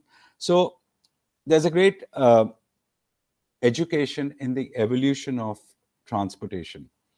Uh, so when you look at that part of the education, uh, especially when school children come, uh, they get to learn about uh, about about the evolution. They we conduct inter, interactive um, uh, guides uh, uh, with them. We have audio guides, which we recently in, in, introduced VR. We also have simulator rides. So we, we in, in, in, a, in a nutshell, we have tried to, we, we go across them. We actually curate a, a school visit prior uh, to the school coming so that we know exactly what the uh, what the students are looking for. Uh, our, our, team is there all the time to guide them. Uh, then we also have, uh, you know, uh, and the education of the museum over the last few years has evolved into uh, through some dynamic exhibitions that we have had during the course of the last few years. And I think that's been even a better success than what the objects of are present at the museum. Uh, these um, are held at the various um, uh, areas within the museum, as well as a dedicated area for holding exhibitions. And I'll go, I'm going to give you a couple of examples of, of these uh, dynamic exhibitions that we've had so that um, uh, you can get a point, uh, get, get an, a sense of what I'm trying to say. Um, the first one was the education, um, I mean, the Calcutta tram, which I think is a living he heritage, and people of Kolkata are, uh, are very proud, although, although at times, you know, there are, uh, there's always that story of whether they're useful anymore or they are not useful anymore.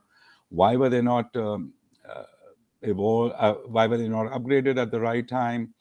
Um, so if you enter our Calcutta tram, uh, our, our, tram, which which was uh, 204, 1940s uh, wood-bodied tram, after being fully restored, we've had uh, we have two screens in each car, which where we have footage, vintage footage of the trams in operation in Calcutta as well as Mumbai and Delhi. Uh, those uh, play there. And in the other uh, tram car, in the, in the, in the other car, we have um, we have shot videos while sitting in a Calcutta tram and traveling. So and we just shot the street scenes. So it's like you are currently traveling in this tram, and what you see of Calcutta, the the, the mixture of people uh, the fruitwalas, the, the, the noises of Calcutta. So that's a very interesting experience. So if you sit there for 15 minutes, you actually feel you've actually taken a ride in the car, in, in, in a tram. Um, mind you, being in North India, uh, not many people were aware of the trams. Uh, and even Delhi's, uh, I think the last tram in Delhi uh, functioned in way back in 1954 and I think uh, Bombay, if I'm not mistaken, was 1964.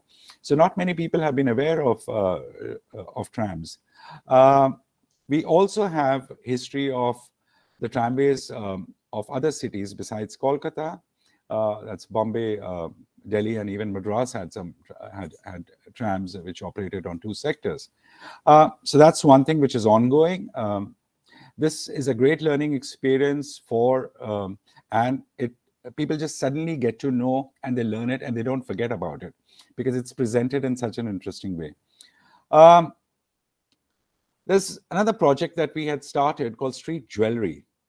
Uh, by street street jewelry, we mean uh, you know the various decorations that used to take place on our trucks, on our uh, streets, on uh, and these were done by artists. Um, you know, they had that typical typeface when they used to write uh, things, which over the over the over the past few years have actually uh, gone into oblivion, I should say.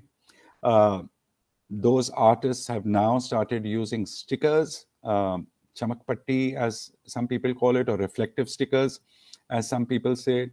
So the trend from actually hand painting art has gone to, uh, you know, um, sticker art, uh, which is easier. They'll just stick, uh, cut stickers and they'll put it across. Now, at the museum, all the shutters um, at in, inside the museum were painted by these artists. So you actually don't feel that it's a shutter. It looks like it's it's a piece of art uh, or an artwork. Similarly, uh, we found very interesting um, hand decorated uh, uh rickshaws um, in Allahabad, and we actually um, got one of them there just to show it to to, to um, you know the visitors that how intricately uh, decorations are being carried about. I think all over in in in part of Sri Lanka, part of Bangladesh, even Pakistan. Pakistan is famous for its truck art.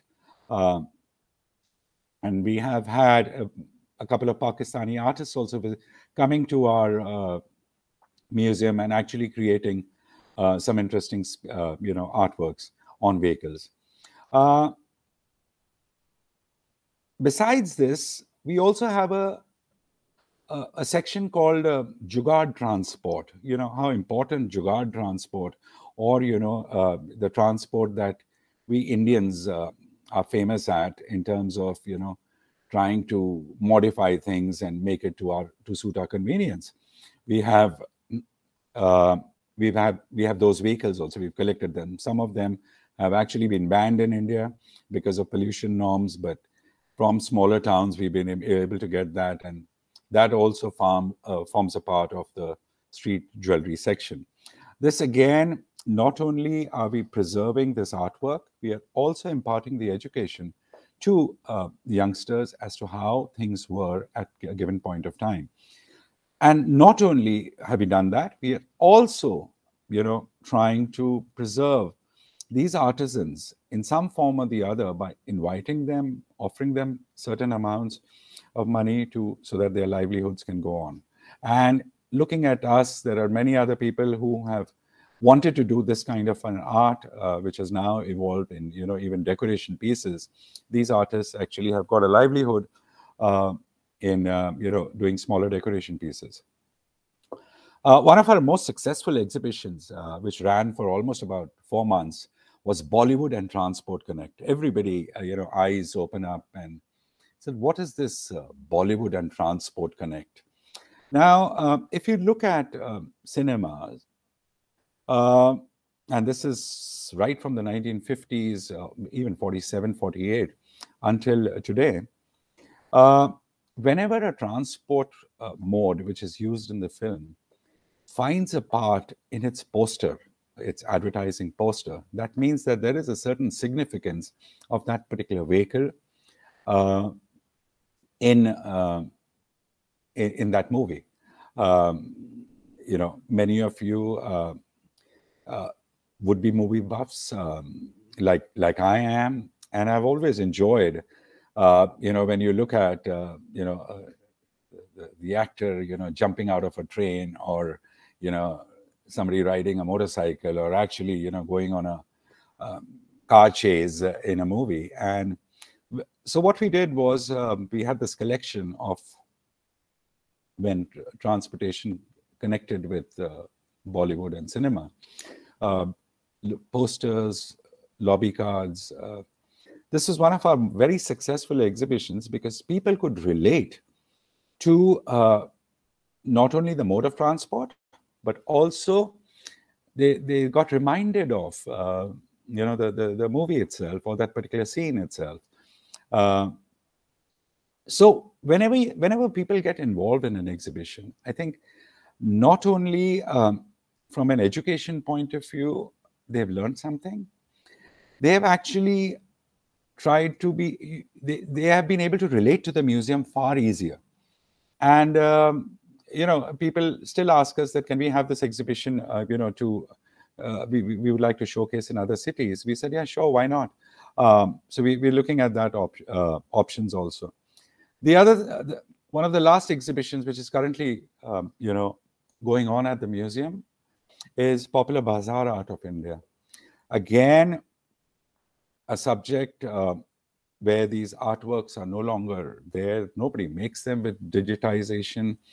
Uh, how gods of our country were used to advertise products, uh, not necessarily transport products, but this is beyond transport. This is how we involve our visitors when they come there, there, there is suddenly, they've come to a transport museum, but they're actually experiencing uh, a completely different side of India, which, uh, which existed.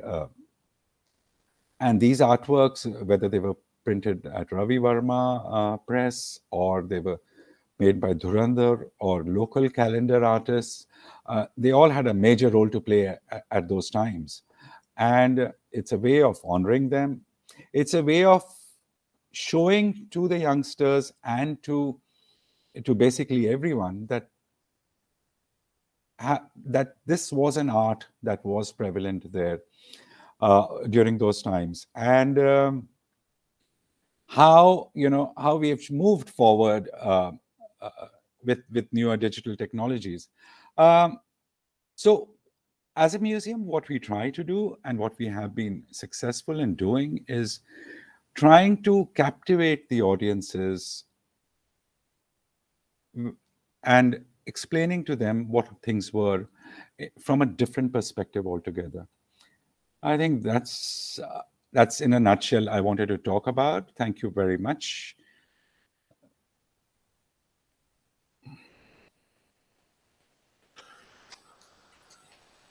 Thank you, Thakralji. Yeah.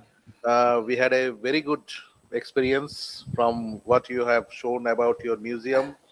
Thank you visitor-centric museum with a simple storyline. Yeah. And you have tried to amalgamate your technology with art and culture, and which is something for everybody. And the audio guides you have said, which adds up to the uh, visitors' experience and real life experience that you talked about the museum. Another interesting uh, exhibition you have talked about is the Bollywood and transport which has uh, repeat visitors again and again.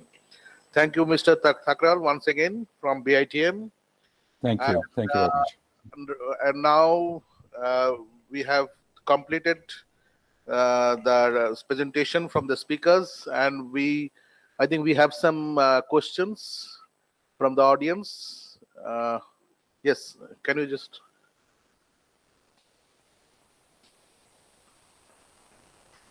You can ask from here. It was a very nice talk. You can sit down and ask. Microphone on karo. Uh, hello. It was a very nice talk. And uh, I'm just curious about uh, what about this uh, uh, inclusion of uh, Tesla kind of. It was a nice talk. Uh, yeah, I was telling you.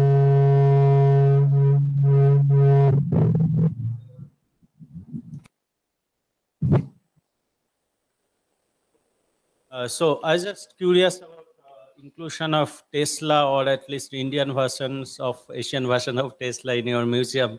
And uh, what was your uh, primary motivation about particular interest in the uh, transport?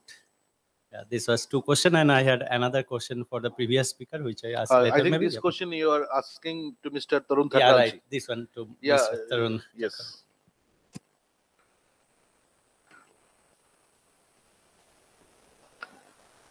Uh, sir, you, you are not audible actually. You, you are on mute. Uh, please, sir. Can Can you hear me now? Yes, yes. Yeah. Okay. Um, you know, I, I didn't inherit anything, if you were asking that. Okay. I was out of the country uh, pursuing my MBA in hospitality industry. I returned back to India and suddenly I fell in love with these old things. Uh, so I started my collection in 1994. And um, when we decided to open the museum, uh, suddenly it became a sizable collection. And uh, the focus was transportation because I myself started loving it started with cars, went on to all other modes of transportation. Um, yes, Tesla will come, or even a, a, Yeah. a, a better battery powered uh, vehicle, uh, most probably the one which is made in India. We will try and get the first one. Uh, we did have, um, uh, you know, India had that Mahindra E2O or H2O. Uh, yeah, I think it was E2O, I think, uh, which was Reva earlier.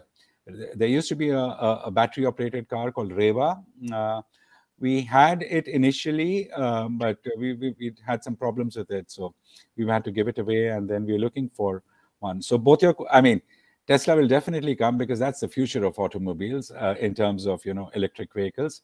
And India is uh, way, um, I mean, moving pretty fast on that um, scale. Anything else?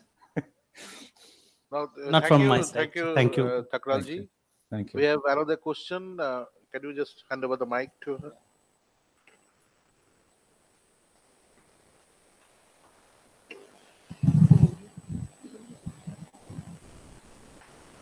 Um, good evening, all. Uh, I have a question like uh, what initiative and targets would increase mobilities, training, career progression for all types of museum professionals? For all of you. who Want to. Can can, could you just repeat once again what you just asked? Little bit louder, Uh, please. Like, uh, can I take this question? Hmm. Yeah, yeah, sure, sir. Please go ahead. Um, and it's a very interesting question. I mean, uh, if you really look at the awareness of museums in India, particularly in the last um, 10 years or so, uh, it's exceptional. Uh, it's uh, really like uh, I think Thakralji mentioned that it's actually growing by growing exponentially. Uh, look at both the private sector and the public sector. I mean, until now, what was happening is particularly for the museology students, you were looking at the public public uh, museums, and uh, among the public museums, it's mostly government museums which are there in you know National Museum and such others who have their own um, procedures. But now things have changed, um, changed very rapidly. Big big museums are coming up. Thakralji, I mean, yeah, Thakralji himself is having his own museum. There is a um, one big museum coming up in bangalore and all over the country. Um, so i think all of you who have taken up uh, museology as a course in my opinion will have a good uh, future and there are very not many um, universities who are giving uh, museology courses so i think uh, just wait for another five years uh, three four years i think you will have very good opportunities Can I just say something here? Uh, Just to add on to what Sir just said, I think as as students of mu- museology, uh, uh, we don't need to keep our blinders on. Uh, you know, today the world has changed. Um, you know, we we do uh, get great knowledge and experience from where we learn, but when you come to the real world, you know, the, your singular focus, whether you're a student of museology or a student of art, you need to be a visitor centric person. Uh, the moment you are a visitor focused uh, individual, you will succeed. Uh, because everything that, that, that museums do today or will be doing, uh, their, their, their focus uh, has to be on the visitor. Yeah. Yes. Any other questions you have? Thank you, sir. But I, I have another question. Like, uh, can we relate history and culture with science? In the science museums, like uh, in the remote area, can we uh, uh, relate the science and art and culture? Uh, as uh, uh, Ambika ma'am said, like ethnographic items she had um, doing, she had did workshop. Um so in the in our national science museums, can we can we do also? Look, I mean, both science and art, both are creative in nature. By by very definition, you know, the museums are these are all very creative areas.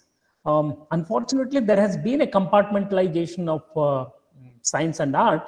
In my opinion, um, you can definitely uh, uh, what is uh, what the art museums or the history museums have the collections of uh, utilitarian objects you know they are something to do with the science so uh, there is uh, uh, even in the BITM museum where you're sitting, I mean, you will have a lot of these objects which are people can say if you go to the transport museum there, transport gallery, uh, most of the things can be classified as art as well there are some wonderful collections of uh, um, maybe the dioramas or the car of uh, I think JC Bose is with you um, or Meghnad Saha. I don't remember that. Uh, they are they are all a piece of uh, art as well. You know, in the earlier days when there was no the factory line, the all the most of the old cars um, i think they are each one of them are an art piece by its by themselves i'm sure Thakralji will agree that um, beautiful uh, piece of art but then there is technology there is automobile there is thermal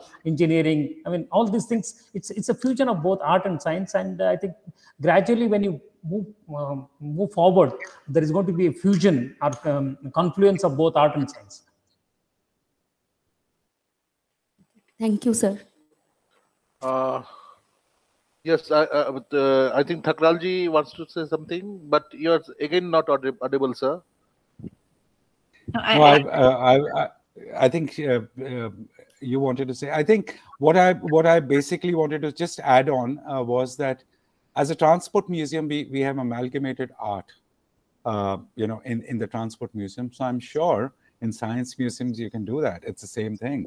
Uh, it's how you present it, how how you think about it, and again, look at it if I'm thinking that this object or this artwork or this installation can come here, how would the visitor react to it?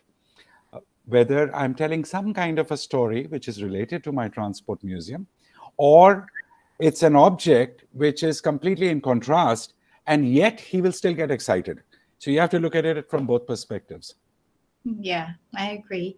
Yeah, maybe I can add to that. um, I think with the new um, new technology nowadays, um, a history mu historical museum or um, art museum, you know, can in, include a lot of um, information about um, science and technology uh, because there are some new information, you know, that has been discovered uh, by by science and technology.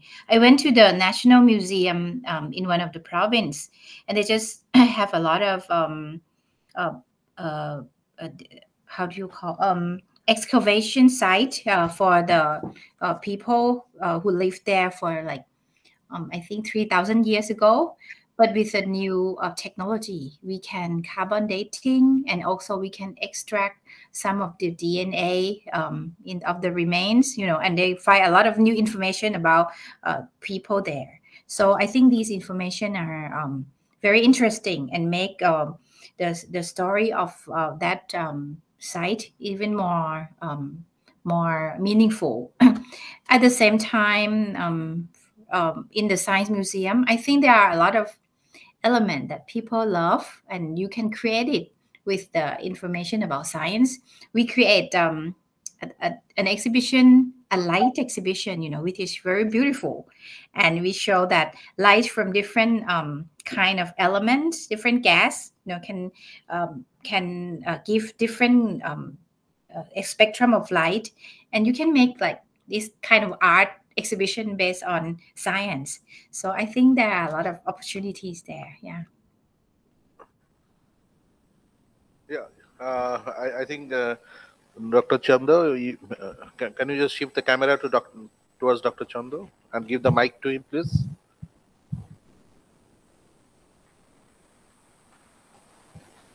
Yes, uh, I would like to add, I think uh, Mr. Khened was a bit uh, more modest. You know, science museums under National Council of Science Museums have several examples of such uh, amalgamation of science and social science and arts. In fact, the earlier transport gallery, just beside that, the room we are sitting, was an ideal, very, very exceptional uh, example of uh, such, such, synthesis. Uh, it started with the Indus Valley and uh, came came into the modern. Unfortunately, that has to be, you know, re renovated. The earlier uh, Children's Gallery in Birla Museum was another example of amalgamation of science and arts that was based on uh, the Jean Piaget's uh, development psychology. Uh, some of the exhibits are still uh, available in the DSC Purulia. Then National Science Center Delhi had the Information Revolution Gallery. That is a very, very uh, ex ex exemplary example of you know amalgamation of social science with uh, the science. The Heritage Gallery, the, Mr. Khened was a part of it and, and, and many such examples are there. In fact, uh, there, uh, we have come into an era where no such compartmentalization can be, you know, exactly. afforded. We, we cannot afford to compartmentalize arts and science. In fact, history is an interpretive science. So we have to, that, that era has come. And uh, uh, so far my knowledge goes, Mr. Thakral's uh, museum uh, have, have got a, a museology student in, in their role. So there are uh, ample scope for the museology students. But the problem lies with the government, uh, the bureaucratic setup. They are very hard to you know crack the things. The RRs are quite archaic. That are the RR had has to be you know revised, and uh, uh, Mr. Khened rightly pointed out there are many many private sectors are coming uh, coming up with their museums, and not bound by the strict bureaucratic setup. They are quite flexible. Okay. So uh, we will take a last question. I think that will be the last one. We are already overshooting the time, and uh, you, you can sit here and you can uh, you can answer. You can have your question. Please sit here. Hello. Yeah. So, uh, uh, sorry, this is the uh, last question, and sorry for extending stretching it too much. Uh, I, this to last speaker, last to last speaker, Professor Chanda.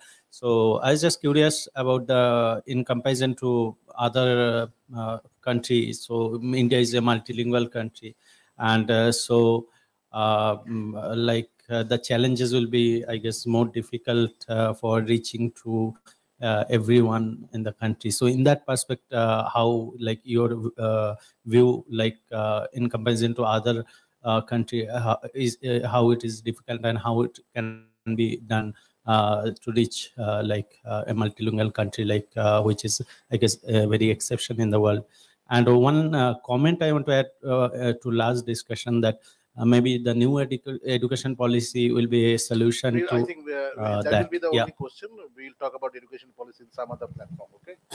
you know, uh, multi being a pluralistic society or multilinguality is not much of a problem because you need uh, several museums at several uh, places for different communities. Uh, just recently uh, come, uh, came up a museum of no, a novel museum in the Karbi Anglong, uh, you know, the uh, the autonomous council. So that is an heritage a heritage museum that is a very good example of also the self-sustainability because they are uh, involving the local uh, people also.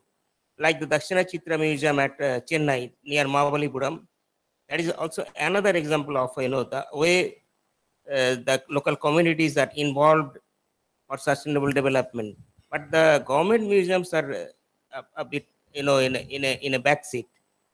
That mindset has to be changed, and uh, that Okay, I think uh, I could answer your question. Okay, thank you all. Uh, I think uh, uh, we have come to the end of the session now. It has really been an, uh, been an entertaining and enlightened session for uh, all of us. We had speakers from a diverse field who have shared their views on the theme of this year's International Museum Day.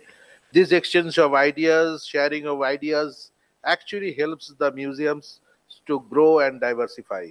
I thank the esteemed panel of speakers uh, once again, and I thank all the audience who are present online and also in person at BITM. And we hope to meet meet again still, uh, soon with uh, with a similar program like this.